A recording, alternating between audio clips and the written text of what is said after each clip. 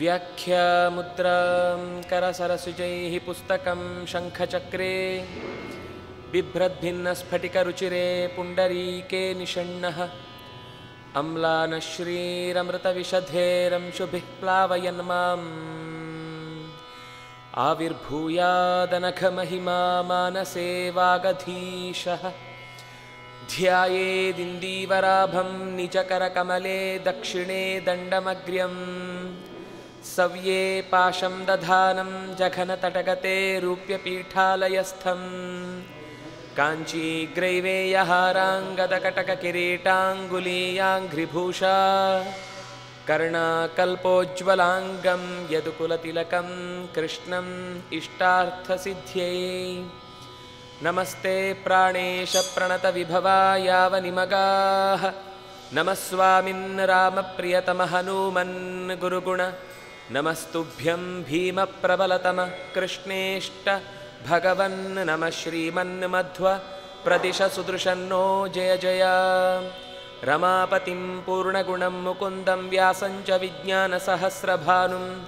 पूर्णप्रबोधं च सुतत्वदीपं क्रमाद्गुरूंश्च प्रणमामि मूर्ध्ना सर्वेन्द्रियाभिमानिस्थमुख्यप्राणस्थविष्णुना प्रेरितश्रीशतुष्ट्यर्थं करिष्ये कर्म चाखिलं नारायणं सुरगुरुं जगदेकनाथं भक्तप्रियं सकललोकनमस्कृतं च।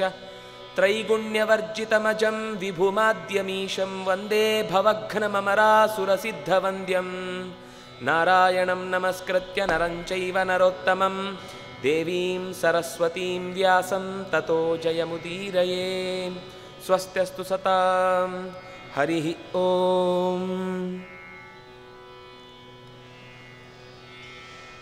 ಮಹಾಭಾರತದ ಮುಖ್ಯ ಕಥೆಗೆ ಪೂರಕವಾದ ಕಥೆಗಳು ಅನ್ನುವುದನ್ನು ಮನಸ್ಸಿನಲ್ಲಿಟ್ಟುಕೊಂಡು ಕಥಾ ಪ್ರವಾಹದಲ್ಲಿ ಕೊಚ್ಚಿ ಹೋಗುವುದಕ್ಕೆ ಸಿದ್ಧರಾಗೋಣ. ಯಾಕೆಂದರೆ ಮಹಾಭಾರತ ಅನ್ನುವುದು ನಾವು ವಸ್ತುತಃ ನಮ್ಮ ಬದುಕಿನಲ್ಲೂ ಹೀಗೆ ಮಾತಾಡ್ತಾ ಇರ್ತೇವೆ. ಏನೋ ಒಂದು ಘಟನೆ ಮಾತಾಡ್ತೇವೆ. ಆವಾಗ ಏನೋ ನೆನಪಾಗುತ್ತೆ ನಮಗೆ. ಅವತ್ತು ಒಂದು ದಿವಸ ಹೀಗೆ ಆಯಿತು ಅಂತ ಒಂದು ಘಟನೆ ತಗೊಳ್ತೇವೆ. ಈ ಈಗ ಹೇಳುವ ಘಟನೆಗೆ ಆ ಘಟನೆಯನ್ನು ಜೋಡಿಸಿ ಅದರಿಂದ ಇದಕ್ಕೊಂದು ಜಸ್ಟಿಸ್ ಕೊಡ್ತೇವೆ. ಇಲ್ಲ, ಅದಕ್ಕೋಸ್ಕರ ಹೀಗಾಯಿತು ಅಂತ. ಮಹಾಭಾರತವು ಕೂಡ ನಮ್ಮ ನಡುವೆ ನಡೆಯುವ ಸಂಗತಿಯನ್ನೇ ವೇದವ್ಯಾಸರು ಅದನ್ನು ಆಯಾ ಋಷಿಗಳು ಏನೇನು ಮಾತಾಡಿಕೊಂಡ್ರೋ ಅದನ್ನು ಎಡಿಟ್ ಮಾಡಿಕೊಟ್ಟು ನಮಗೆ ಒಂದು ಒಂದು ಲಕ್ಷ ಶ್ಲೋಕದ ಬೃಹತ್ ಗ್ರಂಥವನ್ನು ಜಗತ್ತಿನಲ್ಲಿ ಯಾವ ದೇಶಕ್ಕೂ ಇಂಥದ್ದು ಸೌಕರ್ಯವೇ ಇಲ್ಲ. ನಾವು ಇವತ್ತು ಅದನ್ನು ಇಂಡಿಯನ್ ಇನ್ ಇಂಡಿಯನ್ ಮೈಥಾಲಜಿ ಅಂತ ಶುರು ಮಾಡ್ತೇವೆ. ಮೈಥಾಲಜಿ ಅಲ್ಲ ಅದು. ಅದು ಹಿಸ್ಟ್ರಿ ಅದು. ಹಿಸ್ಟ್ರಿ ಅನ್ನೋದು ಬೇರೆ ಮೈಥಾಲಜಿ ಅನ್ನೋದು ಬೇರೆ. ಕಾಲ್ಪನಿಕ ಕಟ್ಟುಕತೆಗಳನ್ನು ಬೇಕಾದರೆ ನೀವು ಇದ್ದದ್ದನ್ನು ಪುರಾಣಗಳಲ್ಲೇ ಹೇಳುತ್ತಾರೆ. ಇದು ನಡೆದದ್ದಲ್ಲ ಒಂದು ಸಂದೇಶವನ್ನು ಕೊಡಲಿಕ್ಕೋಸ್ಕರ ಬಂದ ಕಥೆ ಅಂತ.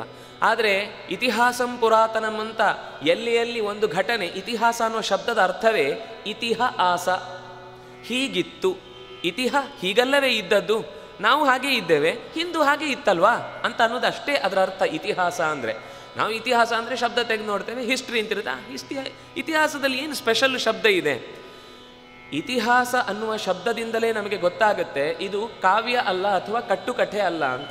ಎಲ್ಲಿ ಕಟ್ಟುಕಥೆ ಆಗಿರುತ್ತೋ ಅಲ್ಲಿ ಅವರಿಗೆ ಹೇಳಬೇಕಾದ ಸಂಗತಿ ಹೇಳಿಬಿಟ್ಟ ಮೇಲೆ ಮತ್ತೆ ಬೇರೆದ್ದನ್ನು ಹೇಳುವ ಅಗತ್ಯ ಇಲ್ಲ. ಆದರೆ ಮಹಾಭಾರತ ಹಾಗೆ ಯಾವುದನ್ನೂ ಬಿಡದೆ ಎಷ್ಟೋ ಸರ್ತಿ ನಿಮಗೆ ಕೆಲವು ಕಡೆ ಮಹಾಭಾರತದ ಯುದ್ಧದ ಪ್ರಸಂಗ ಆಗುವಾಗ ಅವನು ಇಷ್ಟು ಬಾಣ ಬಿಟ್ಟ, ಈ ದಿಕ್ಕಿನಿಂದ ಬಿಟ್ಟ, ಎಲ್ಲಿಂದ ಬಂತು, ಎಷ್ಟು ಜನ ಅದಕ್ಕೆ ಮೊದಲು ಆ ಬಾಣಕ್ಕೆ ಗುರಿ ಆಗಿದ್ರು, ಈ ಎಲ್ಲ ಲೆಕ್ಕಾಚಾರಗಳನ್ನು ಅಧ್ಯಾಯಗಟ್ಟಲೆ ಹೇಳ್ತಾರೆ. ಯಾರಾದರೂ ಕಟ್ಟಕತೆ ಹೇಳುವವರು, ಈಗ ಮಕ್ಕಳಿಗೆ ನಾವೊಂದು ಕತೆ ಕೇಳ್ತೇವೆ. ಶಾಲೆಯಲ್ಲಿ ಭೀಮಸೇನ ದುರ್ಯೋಧನನನ್ನು ಕೊಂದ ಕಥೆಯನ್ನು ಎರಡು ಪುಟಕ್ಕೆ ಮೀರದಂತೆ ಬರೆಯಿರಿ. ಅವನಿಗೆ ಏನೂ ಗೊತ್ತೇ ಇಲ್ಲ ಹಿಂದೆ ಮುಂದೆ. ಅವನಿಗೇನು ಗೊತ್ತಿದೆ? ಭೀಮಸೇನ ದುರ್ಯೋಧನನ ಕೊಂದ ಅಂತ ಈ ಪ್ರಶ್ನೆ ನೋಡಿದಾಗ ಗೊತ್ತಾಯ್ತು ಅವನಿಗೆ. ಅದಕ್ಕಿಂತ ಮುಂಚೆ ಅದು ಗೊತ್ತಿರಲಿಲ್ಲ. ಅವನಿಗೆ ಗೊತ್ತಿದ್ದು ಚೋಟಾ ಭೀಮ್. ಕೊನೆಗೆ ಈ ಭೀಮಸೇನ ದುರ್ಯೋಧನನ ಹೇಗೆ ಕೊಂದ ಅಂತ ಯೋಚನೆ ಮಾಡಿದ, ಭೀಮಸೇನ ದುರ್ಯೋಧನನನ್ನು ಗುದ್ದಿ ಗುದ್ದಿ ಗುದ್ದಿ ಗುದ್ದಿ ಅಂತ ಎರಡು ಪೇಜ್ ಬರೆದು ಕೊಂದನು ಅಂತ ಹೀಗೆ ಬರ್ದ. ಯಾರೂ ಕೂಡ ಬುದ್ಧಿ ಇದ್ದವರು ಇದು ಒಂದು ಅತ್ಪೂರ್ವವಾದ ಕಾವ್ಯ ಅಂತ ಹೇಳುವುದಿಲ್ಲ. ಅದರಿಂದಾಗಿ ಮಹಾಭಾರತ ಕೇವಲ ಕಾವ್ಯ ಅಲ್ಲ ಕೇವಲ ಇತಿಹಾಸ ಅಲ್ಲ, ಕೇವಲ ಯಾವುದೋ ಒಂದು ಹಿಂದಿನ ಕಥಾನಕಗಳನ್ನು ನೆನಪಿಸುವಂಥ ಘಟನೆ ಅಲ್ಲ, ಅದು ಯಥಾಸ್ಥಿತಿ. ಈಗ ನಾವು ನಮ್ಮ ಮಹಾಭಾರತ್ ಅಂದರೆ ಸ್ವಾತಂತ್ರ್ಯ ಸಂಗ್ರಾಮದ ಕಥೆಯನ್ನು ಕೇಳುವಾಗ ಎಷ್ಟು ಥರದ ಕ್ಯಾರೆಕ್ಟರ್ಗಳು ಬರ್ತವೆ? ಮಹಾಭಾರತ ಹಾಗೆ ಅನೇಕ ಕ್ಯಾರೆಕ್ಟರ್ಗಳುಳ್ಳ ವಿಚಿತ್ರವಾದ ಕಥೆಗಳಿಂದ ಕೂಡಿದ ಒಂದು ಅಪೂರ್ವವಾದ ಸಂಕಲನ. ಮಹಾಭಾರತದಲ್ಲಿ ಹೇಗೆ ನಾವು ನೋಡ್ತಾ ಇದ್ದೇವೋ, ನಾವು ಭಾರತದ ಸ್ವಾತಂತ್ರ್ಯದ ಕಥೆ ಕೇಳುವಾಗಲೂ ಯಾವುದ್ಯಾವುದೋ ಮೂಲೆಯಲ್ಲಿ, ಯಾವುದ್ಯಾವುದೋ ಕಾರಣಕ್ಕೆ ನಮ್ಮ ದೇಶದ ಮೇಲೆ ದಾಳಿ ಮಾಡಿದವರ ವಿರುದ್ಧ ಹೋರಾಡಿದವರು ಇದ್ದಾರೆ. ಸಣ್ಣ ಸಣ್ಣ ಕಾರಣಗಳಿರ್ಬೋದು, ಆದರೆ ಅದು ದೊಡ್ಡದಾಗಿ ಬೆಳೆಯಿತು. ಅಂತಹ ನೂರಾರು ಪಾತ್ರಗಳನ್ನು ನಾವು ನಮ್ಮ ಬರೀ ಒಂದು ಐವತ್ತು, ಅರವತ್ತು ವರ್ಷದ ಕಥೆಯಲ್ಲೇ ಕೇಳ್ತೇವೆ ಇದು ಏನಿಲ್ಲ ಅಂದರೂ ಎಷ್ಟೋ ಸರ್ತಿ ಲಕ್ಷ ವರ್ಷ ವರ್ಷ ಹಿಂದೆ ಹೋಗುವುದು ಇದೆ ಕಥೆಗಳು. ಅಂದರೆ ಸಾಮಾನ್ಯ ವೇದವ್ಯಾಸರ ಇಡೀ ಜೀವನ ಅಂತ ಇಟ್ಟುಕೊಂಡ್ರೂ ಎಂಟು ನೂರು ಒಂದು ಸಾವಿರ ವರ್ಷದ ಕಥೆಯನ್ನು ಹೇಳುವಂತಹ ಘಟನೆಗಳು ಆ ಕಾಲದಲ್ಲಿ ಏನು ನಡೆಯಿತೋ ಅದನ್ನೆಲ್ಲ ದಾಖಲೆ ಮಾಡಿದರು. ಮಹಾಭಾರತ ಆ ಶಬ್ದವೇ ಹೇಳುವುದು, ಮಹತ್ವಾತ್ ಭಾರವತ್ವಾಚ್ಚ ಮಹಾಭಾರತ ಮುಚ್ಚತೆ ಮಹತ್ವಾತ್, ಈಗ ಕೆಲವೊಂದು ಸರ್ತಿ ರಚನೆ ಮಾಡ್ತಾ ಅಲಂಕಾರದ ದೃಷ್ಟಿಯಿಂದ ಹೊಗಳಿ ಹೊಗಳಿ ಹೊಗಳಿ ಹೊಗಳಿ ಏನೇನೋ ಸೇರಿಸಿ ಕೊನೆಗೆ ನಮಗೆ ಸಾರವತ್ತಾದದ್ದು ತೆಗೆಯುವಾಗ ಇಲ್ಲೊಂದು ಹತ್ತು ಶ್ಲೋಕ ಸಿಗುತ್ತೆ. ಮಹಾಭಾರತ ಹಾಗೆ ನೀವು ಅದರಲ್ಲಿ ಸೋಸಿ ತೆಗಿಲಿಕ್ಕಿಂತ ಇಲ್ಲವೇ ಇಲ್ಲ. ಈಗ ನಮಗೆ ಯುದ್ಧದ ಪ್ರಕ್ರಿಯೆ ಓದುವಾಗ ತುಂಬ ಬೇ, ಬೋರು ಅಂತ ಅನ್ನಿಸ್ಬೋದು. ಆದರೆ ಯಾರಿಗೆ ಶಸ್ತ್ರಾಸ್ತ್ರಗಳ ವಿಜ್ಞಾನದ ಬಗ್ಗೆ ಕುತೂಹಲ ಇದೆಯೋ ಅವರು ಆ ಭಾಗಗಳನ್ನು ತೆಗೆದು ನೋಡಿದರೆ ಬಹಳ ಆಶ್ಚರ್ಯ ಪಡ್ತಾರೆ. ಓ, ಪ್ರತಿಯೊಂದು ಸಣ್ಣ ಸಣ್ಣ ಅಸ್ತ್ರಗಳಲ್ಲೂ ಕೂಡ ಎಷ್ಟು ವಿಧ ಇದೆ, ಅದನ್ನು ಹೇಗೆ ಹೇಗೆ ಬಳಸ್ತಿದ್ರು, ಯಾವುದನ್ನು ಎಷ್ಟು ದೂರಕ್ಕೆ ಬಳಸ್ಬೋದು, ಹತ್ತಿರಕ್ಕೆ ಬಳಸ್ಬೋದು, ಅಥವಾ ಕೇವಲ ಅವರಿಗೆ ಏಟು ಮಾಡೋದು ಮಾತ್ರ, ಕೊಲ್ಲುವ ಉದ್ದೇಶ ಇಲ್ಲ ಅನ್ನುವಾಗ ಎಂಥದ್ದು ಬಳಸ್ತಾರೆ. ಹೀಗೆ ಬೇರೆ ಬೇರೆ ಥರದ ಅಸ್ತ್ರವಿದ್ಯೆಗಳನ್ನು ಕಲಿಯುವ, ಅಂದರೆ ಮಿಲಿಟರಿ ಯೋಚನೆ ಇದ್ದು ಯಾರಾದರೂ ಅಂಥದ್ದನ್ನು ಅಧ್ಯಯನ ಮಾಡಲಿಕ್ಕೆ ಹೋದರೆ ಆ ಯುದ್ಧದ ಪ್ರತಿಯೊಂದು ಪ್ರಕ್ರಿಯೆಯು ಕೂಡ ವಿಚಿತ್ರವಾದ ಘಟನೆಗಳನ್ನು ನಮಗೆ ಹೇಳುತ್ತೆ. ಹೀಗೆ ನಮ್ಮ ನಮ್ಮ ತಲೆಯಲ್ಲಿ ಎಷ್ಟು ರೀತಿಯಾದ ಚಿಂತನೆ ಇದೆಯೋ ಅಂಥದ್ದಕ್ಕೆ ಆಹಾರ ಕೊಡುವಂತಹ ಶಕ್ತಿ ಮಹಾಭಾರತಕ್ಕಿದೆ. ಯದಿ ಹಾಸ್ತಿ ತದನ್ಯತ್ರ, ಎನ್ನೇ ಹಾಸ್ತಿ ನತತ್ ಕ್ವಚಿತ್. ಮಹಾಭಾರತದ ಬಗ್ಗೆ ಹೇಳುವ ಮಾತು. ಧರ್ಮೇಚ, ಅರ್ಥೇಚ, ಕಾಮೇಚ, ನೀವು ಯಾವುದೇ ಮೋಕ್ಷೇಚ, ಭರತರ್ಷಭ, ಇಷ್ಟರಲ್ಲೂ ಕೂಡ ಇದಕ್ಕೆ ಸಮವಾದ ಇನ್ನೊಂದು ಕೃತಿಯನ್ನು ನೀವು ಹುಡುಕ್ಲಿಕ್ಕೆ ಸಾಧ್ಯ ಇಲ್ಲ. ಇಲ್ಲಿ ಏನು ಹೇಳಿದೆಯೋ, ಅದೇ ಉಳಿದ ಎಲ್ಲ ಕಡೆ ಹೇಳಿರುವಂಥದ್ದು. ಇಲ್ಲೇನಾದರೂ ಹೇಳಲಿಲ್ಲ ಅಂದರೆ ಬೇರೆಲ್ಲೂ ಇಂಥದ್ದನ್ನು ಹೇಳಲಿಕ್ಕೆ ಸಿಗುವುದಿಲ್ಲ ಹಾಗಾದರೆ ನಮ್ಮ ಮೊಬೈಲ್ ಬಗ್ಗೆ ಹೇಳಿದಾರಾ? ಅವ್ರಿಗೆ ಮೊಬೈಲ್ ಬೇಕಾಗಿರಲಿಲ್ಲ. ಅದು ಈಗ ಟಿ ವಿ ಇತ್ಯಾದಿಗಳನ್ನು ನಾವೇನು ಹೇಳ್ತೇವೆ ಕಾಮೆಂಟ್ರಿ ನೋಡ್ತೇವೆ. ಮಹಾಭಾರತದಲ್ಲಿ ಮೊದಲಿಗೆ ಕಾಮೆಂಟ್ರಿ ಕೊಟ್ಟದ್ದೇ ಸಂಜಯ, ಧೃತರಾಷ್ಟ್ರನಿಗೆ. ಇಲ್ಲೇ ಕೂತು ಎಲ್ಲಿದ್ದು ನೋಡಬೇಕು ಅಂತ ಕಣ್ಣು ಮುಚ್ಚಿದವರಿಗೆ ಮತ್ತೆ ಟಿ ವಿ ಬೇಡ. ಇಲ್ಲಿಂದಲೇ ಕೂತು ನಾನು ಅವನ ಮನಸ್ಸಿನಲ್ಲಿ ಏನಿದೆ ಅಂತ ತಿಳ್ಕೊಳ್ಳುವ ತಾಕತ್ತಿದ್ದವನಿಗೆ, ಟೆಲಿಪತಿಯ ಯೋಚನೆ ಇದ್ದವನಿಗೆ, ಅವನಿಗೆ ಫೋನ್ ಬೇಡ. ಅವರು ಸಹಜವಾದ ಮನಸ್ಥಿತಿಯಲ್ಲಿ ಗಟ್ಟಿತನ ಇತ್ತು ಅದರಿಂದಾಗಿ ಇದರ ಅಗತ್ಯ ಇರಲಿಲ್ಲ ಅಷ್ಟೇ ಹೊರತು ಅದು ಗೊತ್ತಿರಲಿಲ್ಲ ಅಂತ ಅರ್ಥ ಅಲ್ಲ. ಇದು ಸುಮ್ಮನೆ ಹೇಳಿದೆ. ಇಂತಹ ಯಾಂತ್ರಿಕ ವಿದ್ಯೆಗಳ ಬಗ್ಗೆ ಹೇಳಬೇಕು ಅಂತ ನಿಯಮ ಇಲ್ಲ. ಯಾವಾಗಲೂ ನಮಗೊಂದು ರಿಲೆವೆನ್ಸ್ ಬೇಕು. ಎಷ್ಟು ಕಾಲ ಹೋದ ಮೇಲೂ ಆ ಕಥೆ ಕಥೆ ನಮ್ಮ ಮಧ್ಯೆಯೇ ಇರುವಂತೆ ಇರಬೇಕು. ಅಂಥ ಸಂಗತಿಗಳನ್ನು ಮಾತ್ರ ಹೇಳುತ್ತಾರೆ. ಇವತ್ತಿನ ಸಮಾಜ ವಿಜ್ಞಾನ ಇನ್ನು ಹತ್ತು ವರ್ಷ ಮುಂದೆ ಹೋದರೆ ಟೆಕ್ಸ್ಟ್ ಬುಕ್ ಚೇಂಜ್ ಆಗುತ್ತೆ. ತಲೆ ತಲೆಹರಟೆಗಳೆಲ್ಲ ಸೇರಿಕೊಂಡು ಬಂದು ತಮ್ಮ ತಮ್ಮ ಅಭಿಪ್ರಾಯಗಳನ್ನೆಲ್ಲ ಸೇರಿಸಿ ಮಕ್ಕಳ ತಲೆ ಹಾಳು ಮಾಡೋರು ಇವತ್ತಿಗೂ ಇದ್ದಾರೆ, ಮುಂದೆಯೂ ಬೆಳೆಯುತ್ತೆ. ಆದರೆ ಅಂಥದ್ರ ಬಗ್ಗೆ ಮಾತಾಡ್ಲಿಕ್ಕೆ ಹೋಗುವುದಿಲ್ಲ ಯಾವುದನ್ನು ತಿಳ್ಕೊಂಡ್ರೆ ಮುಂದೆ ಹತ್ತು ಸಾವಿರ ವರ್ಷ ಹೋದ ಮೇಲೂ ಮನುಷ್ಯನ ಸುಖ, ದುಃಖ, ಕಾಮ, ಕ್ರೋಧ, ಲೋಭಗಳಿಂದ ಏರಿಳಿತಗಳು ಏನು ಉಂಟಾಗುತ್ತೋ ಅದಕ್ಕುತ್ತರ ಕೊಡಬೇಕು ಹೊರತು. ಇವತ್ತೇನೋ ಆದ ಒಂದು ಸಾಮಾಜಿಕ ಸಮಸ್ಯೆ, ಯಾಕೆಂದರೆ ಸಾಮಾಜಿಕ ಧರ್ಮ ಸ್ವಲ್ಪ ದಿವಸಕ್ಕೋದ್ರೆ ಇನ್ನೂ ಬದಲಾಗುತ್ತೆ. ನಿಧಾನಕ್ಕೆ ಒಂದೊಂದೇ. ಈಗ ನಾವು ಹಿಂದೆ ಏನೆಲ್ಲ ನೋಡ್ತಾ ಇದ್ವಿ, ಅದೇ ಥರದ ನಿಯಮಾವಳಿಗಳನ್ನು ಇವತ್ತು ಅನುಸರಿಸಲಿಕ್ಕೆ ಸಾಧ್ಯವೇ ಇಲ್ಲ. ಅಂತಹ ಸಂದರ್ಭದಲ್ಲಿ ನಾವು ನಿಧಾನಕ್ಕೆ ಕಾಲಕ್ಕೆ ತಕ್ಕ ಕೋಲ ಕಟ್ಟಬೇಕು ಅಂತನ್ನುವ ಧರ್ಮಶಾಸ್ತ್ರದ ನದಿಯ ಹರಿವು ಹೋಗ್ತಾ ಹೋಗ್ತಾ ಹೇಗೆ ಬದಲಾಗುತ್ತೋ, ಅಂತಹ ಬದಲಾವಣೆ ಹೊಂದದ ಸಾರ್ವಕಾಲಿಕ ಸತ್ಯವಾದ, ಯಾವ ಧರ್ಮಂಚರ ಸತ್ಯಂವದ ಅನ್ನುವ ಮಾತುಗಳಿಗೆ ಅನುಗುಣವಾದಂತಹ ಕಥೆಗಳೇನಿದೆಯೋ ಅದನ್ನು ಮಹಾಭಾರತ ಹೇಳ್ತಾ ಹೋಗುತ್ತೆ. ಪ್ರಸಂಗ ಬಂದಾಗ ನೆನಪಿಸ್ತೇನೆ. ಇವತ್ತು ನಾವು ಹೊಸ ಕಥೆ ಅಂತ ಏನಾದರೂ ಅಂದುಕೊಂಡ್ರೆ ಅದನ್ನು ವೇದವ್ಯಾಸರು ಎಲ್ಲಿ ಕೊಟ್ಟಿದ್ದಾರೆ ಅಂತ. ಇಲ್ಲಿ ಮಹಾಭಾರತದ ಮುಖ್ಯ ಎರಡು ಕಣ್ಣು ಅಂದರೆ ಒಂದು ವಿಷ್ಣು ಸಹಸ್ರನಾಮ, ಇನ್ನೊಂದು ಗೀತೆ. ಇದು ಗೀತೆ ಅನ್ನೋದು ಪ್ರಮೇಯಗಳ ವಿಷಯದಲ್ಲಿ ಏನೇನು ಹೇಳುತ್ತಾರೋ ಅದಕ್ಕೆ ಮಹಾಭಾರತ ಕಥೆಯನ್ನು ಹೇಳುತ್ತೆ.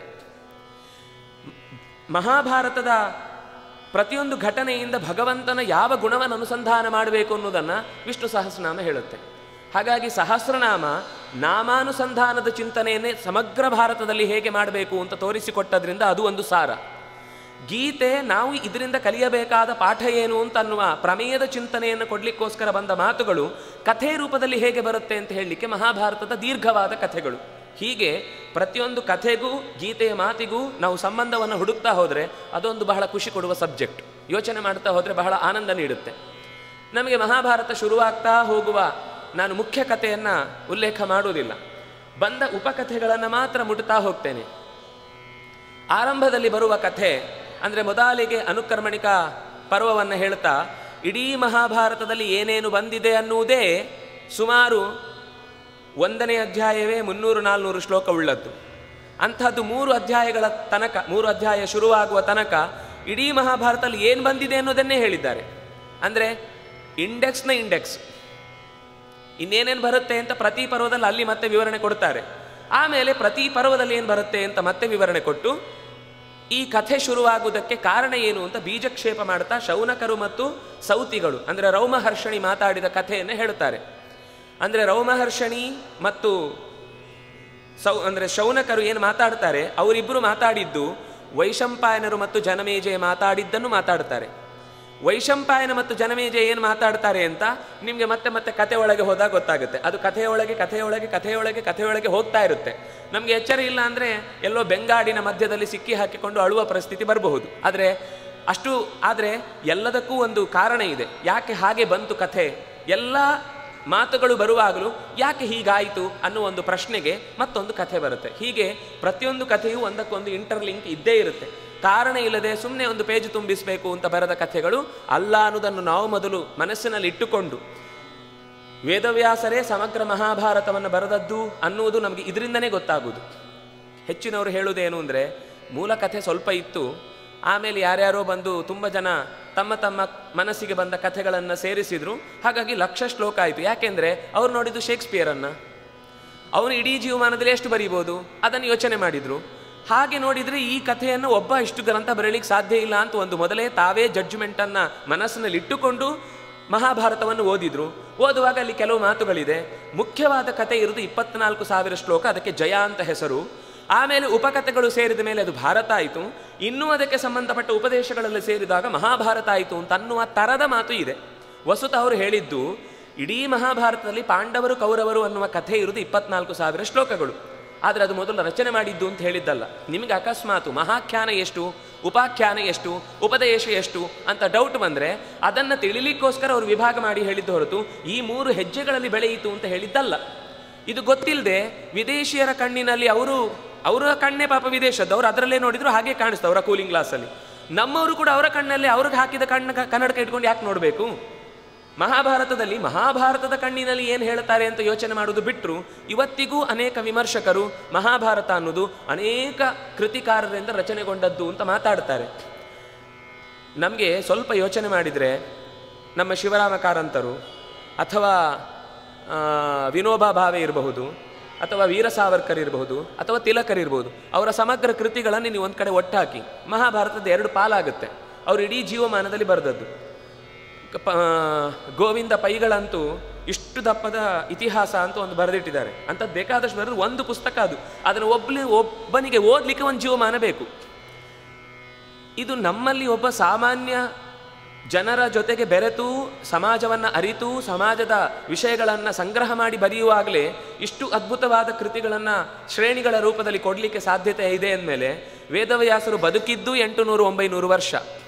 ಇವರ ಹಾಗೆ ಅಯ್ಯ, ಇಪ್ಪತ್ತು ವರ್ಷ ಇನ್ನೂ ತಲೆ ಬುದ್ಧಿ ಬೆಳೆಯದೆ ಕಾಲ ಕಳೆದದ್ದು ಆಮೇಲೆ ಒಂದು ಇಪ್ಪತ್ತು ವರ್ಷ ಬುದ್ಧಿ ಕಳೆದು ಹೋಗಿ ಬದುಕಿದ್ದು, ಎಚ್ಚರ ಇದ್ದಾಗ ನಿದ್ದೆಯಲ್ಲಿ ಸ್ವಲ್ಪ ಜವಾಬ್ದಾರಿ ಇಲ್ಲದೆ ಹೆಂಡತಿ ಮಕ್ಕಳ ಜೊತೆಗೆ ಅಷ್ಟೇ ಬದುಕಿದ್ದಲ್ಲ.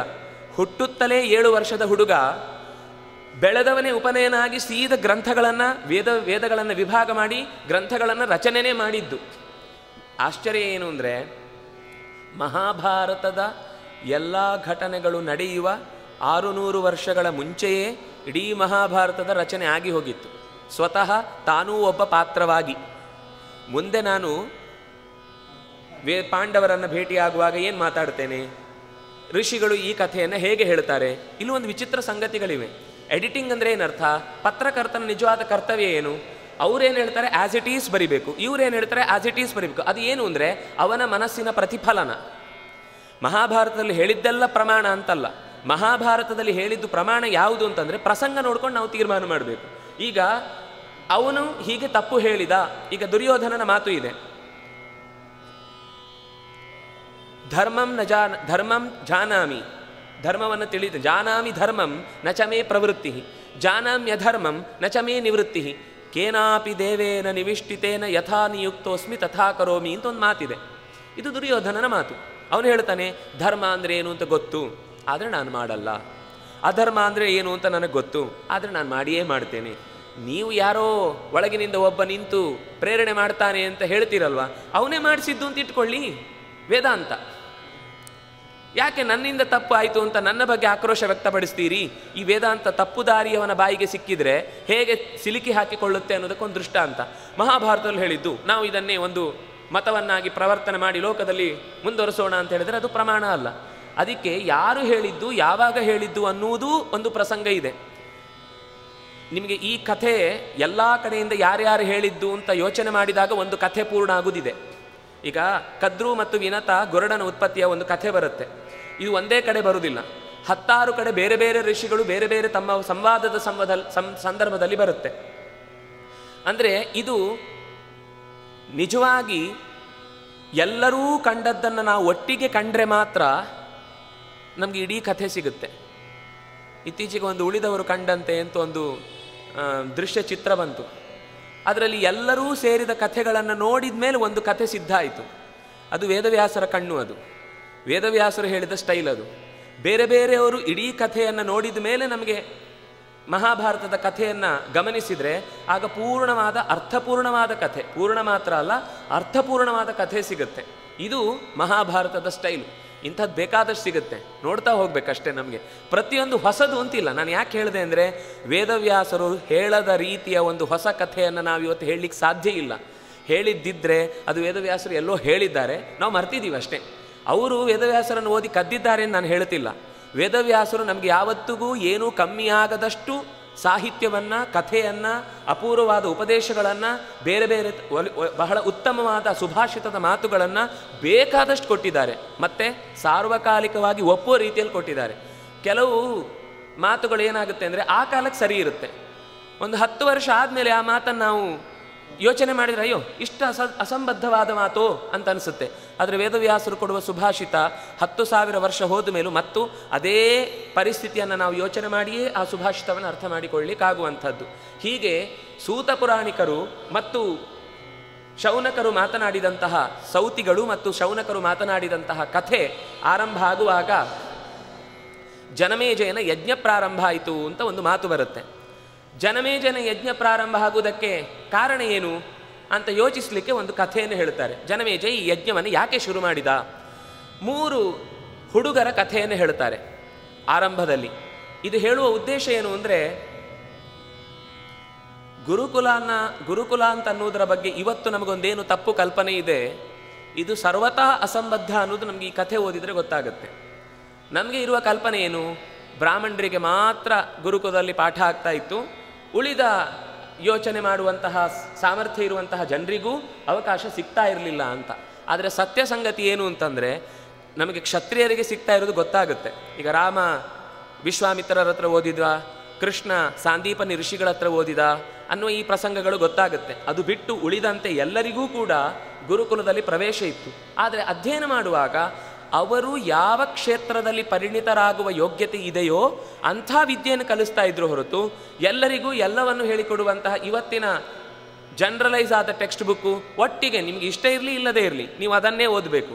ನನಗೆ ಗಣಿತದಲ್ಲಿ ನಾನು ವೀಕು ಆದರೂ ನೀನು ಅದನ್ನು ಓದಬೇಕು, ಕನಿಷ್ಠ ನಲವತ್ತಾದರೂ ಮಾಸ್ ಪಾಸ್ ಮಾರ್ಕ್ ತೆಗೆದೇ ಮುಂದೆ ಹೋಗಬೇಕು. ಇಲ್ಲ ಅಂದರೆ ನೀನು ಫೇಲು ಅಂದರೆ ಅವನು ಅರವತ್ತು ಫೇಲ್ ಆಗಿದ್ದೇನೆ ಅನ್ನೋದನ್ನು ನಾವು ಮರಿತೇವೆ. ನಲವತ್ತು ಪಾಸ್ ಆಗಿದ್ದೇನೆ ಅನ್ನೋದನ್ನು ಮಾತ್ರ ತಲೆಯಲ್ಲಿ ಇಟ್ಕೊಂಡು ಅವನು ಪಾಸು. ಅವನು ನಾಳೆ ಲೆಕ್ಚರರ್ ಆಗ್ತಾನೆ. ವಿದ್ಯಾರ್ಥಿಗಳ ಒಂದು ದೊಡ್ಡ ಪಡೆಯನ್ನೇ ತನ್ನ ಬುದ್ಧಿವಂತಿಕೆಯ ದಡ್ಡತನವನ್ನೇ ಅವರ ತಲೆಗೂ ಹಚ್ಚಿ ಹಾಳು ಮಾಡ್ತಾನೆ ಪರಂಪರೆಯನ್ನು. ಅಂದರೆ ಅಧ್ಯಾಪಕ ವೃತ್ತಿಗೆ ಹೋಗೋರು ಸಾಮಾನ್ಯ, ತೊಂಬತ್ತಕ್ಕೆ ತೊಂಬತ್ತಿದ್ದವರು, ನೂರಕ್ಕೆ ನೂರಿದ್ದವರು ಯಾರು ಹೋಗ್ತಾರೆ? ಯಾರೋ ಹೋಗೋದು, ಎಲ್ಲೂ ಬೇರೆ ಕೆಲಸ ಸಿಗಲಿಲ್ಲ ಅಂದರೆ ಹೋಗಲಿ, ಒಂದು ಹೊಟ್ಟೆ ಪಾಡಿಗೆ ಒಂದಿಷ್ಟು ವಿದ್ಯಾರ್ಥಿಗಳ ಭವಿಷ್ಯ ಹಾಳು ಮಾಡೋಣ ಅಂತ ಯೋಚನೆ ಮಾಡ್ಕೊಂಡು ಅಧ್ಯಾಪಕ ವೃತ್ತಿಗೆ ಬರ್ತಾರೆ. ನಿನ್ನೆ ಡಿಗ್ರಿ ತಗೊಂಡು ಇವತ್ತು ಪಾಠ ಮಾಡ್ತಾರೆ. ವಸ್ತುತಃ ಆ ಪಾಠವನ್ನು ಮಾಡಲಿಕ್ಕೂ ಕೂಡ ಎಷ್ಟು ತರಬೇತಿ ಬೇಕು, ಎಷ್ಟು ಅಧ್ಯಯನ ಬೇಕು ಅನ್ನೋದನ್ನು ಯೋಚನೆ ಮಾಡಿದರೆ ಗಾಬರಿ ಆಗುತ್ತೆ. ಆದರೆ ನಮಗೆ ಎಲ್ಲವೂ ಸಲೀಸಾಗಿ ಸಮಾಜ ಒಪ್ಪಿಕೊಂಡು ಬಿಟ್ಟಿದೆ ಅಂತ. ಆದರೆ ಗುರುಕುಲದ ಪದ್ಧತಿ ಹಾಗಲ್ಲ.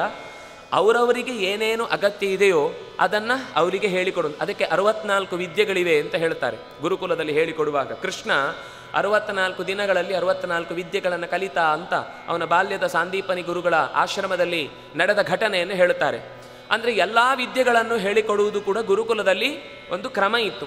ಹಾಗಾಗಿ ಯಾರಿಗೆ ಯಾವ ವಿದ್ಯೆಯಲ್ಲಿ ಚಿನಿವಾರ ಚಿನ್ನದ ಕಲೆಯನ್ನು ಕಲಿತಾನೆ, ಚಮ್ಮಾರ ಚಮ್ಮ ಚರ್ ಚರ್ಮದ ಕಲೆಯನ್ನು ಕಲಿತಾನೆ, ಕುಂಬಾರ ಮಡಿಕೆಯದ್ದನ್ನು ಕಲಿತಾನೆ, ಎಲ್ಲವೂ ಅವರವ್ರದ್ದೇ ವಿದ್ಯೆ ಅದು. ಒಬ್ಬ ಇನ್ನೊಬ್ಬನ ವಿದ್ಯೆಯನ್ನು ಸಲೀಸಾಗಿ ಕಲಿಯುವುದು ಅಷ್ಟು ಸುಲಭ ಇಲ್ಲ. ಯಾಕೆಂದರೆ ಅವರ ಮನೆಯ ಪರಂಪರೆಯಲ್ಲೇ ಬಂದ ರಕ್ತದ ಬಳುವಳಿ ಒಂದು, ಪರಿಸರ ಇನ್ನೊಂದು, ಇದೆರಡೂ ಸಹಾಯ ಮಾಡಿದಾಗ ಅವನು ಬೇಗ ಆ ವಿದ್ಯೆಯಲ್ಲಿ ಪರಿಣಿತನಾಗ್ತಾನೆ. ಈ ದೃಷ್ಟಿಯಿಂದ ಹಿಂದೆ ವಿದ್ಯೆಯನ್ನು ಕಲಿಸುವುದಕ್ಕೆ ಗುರುಕುಲದಲ್ಲಿ ಎಲ್ಲರಿಗೂ ಎಲ್ಲವನ್ನೂ ಕಲಿಯುವ ಅವಕಾಶ ಇತ್ತು. ಆದರೆ ಯೋಗ್ಯತೆ ಇತ್ತು. ಅವನು ಗುರುಕುಲದಲ್ಲಿ ಒಂದು ವರ್ಷ ಬಂದ ತಕ್ಷಣ ಪಾಠ ಇಲ್ಲ. ಬರೀ ನಾಸಂವತ್ಸರ ವಾಸನೆ ಪ್ರಬ್ರೂಯಾತ್. ಒಂದು ವರ್ಷಗಳ ಕಾಲ ಗುರುಕುಲದಲ್ಲಿ ಬರೀ ಸೇವೆ ಮಾಡಬೇಕು. ದನಗಳನ್ನು ನೋಡ್ಕೊಳ್ಳೋದು, ಹಟ್ಟಿ ಕ್ಲೀನ್ ಮಾಡುವುದು, ಕಟ್ಟಿಗೆ ತರುವುದು ಸಮಿಧೆಗಳನ್ನು ಹೊತ್ತು ಬರುವುದು, ಅಗ್ನಿಗಳನ್ನು ರಕ್ಷಣೆ ಮಾಡುವುದು, ನಮಗೆ ಉಪನಿಷತ್ತುಗಳಲ್ಲಿ ಎಲ್ಲ ಕಡೆಯಲ್ಲೂ ಇಂಥದ್ದೇ ಕಥೆ ಬರುತ್ತೆ. ಒಂದು ವರ್ಷ ಆದ ಮೇಲೆ, ಅಲ್ಲ ಹಾಗಾದರೆ ಅವನಿಗೆ ಪಾಠ ಮಾಡದೆ ಒಂದು ವರ್ಷ ವೇಸ್ಟ್ ಮಾಡಿದ್ರ ಅಂದರೆ, ನಿಜವಾಗಿ ಪಾಠ ಅದೇ. ಒಂದು ವರ್ಷ ಗುರುಕುಲದ ಪರಿಸರದಲ್ಲಿ ವಾಸ ಮಾಡುವಾಗ ಪ್ರಕೃತಿಯ ಪಾಠ ಆಗುತ್ತೆ ಅವನಿಗೆ.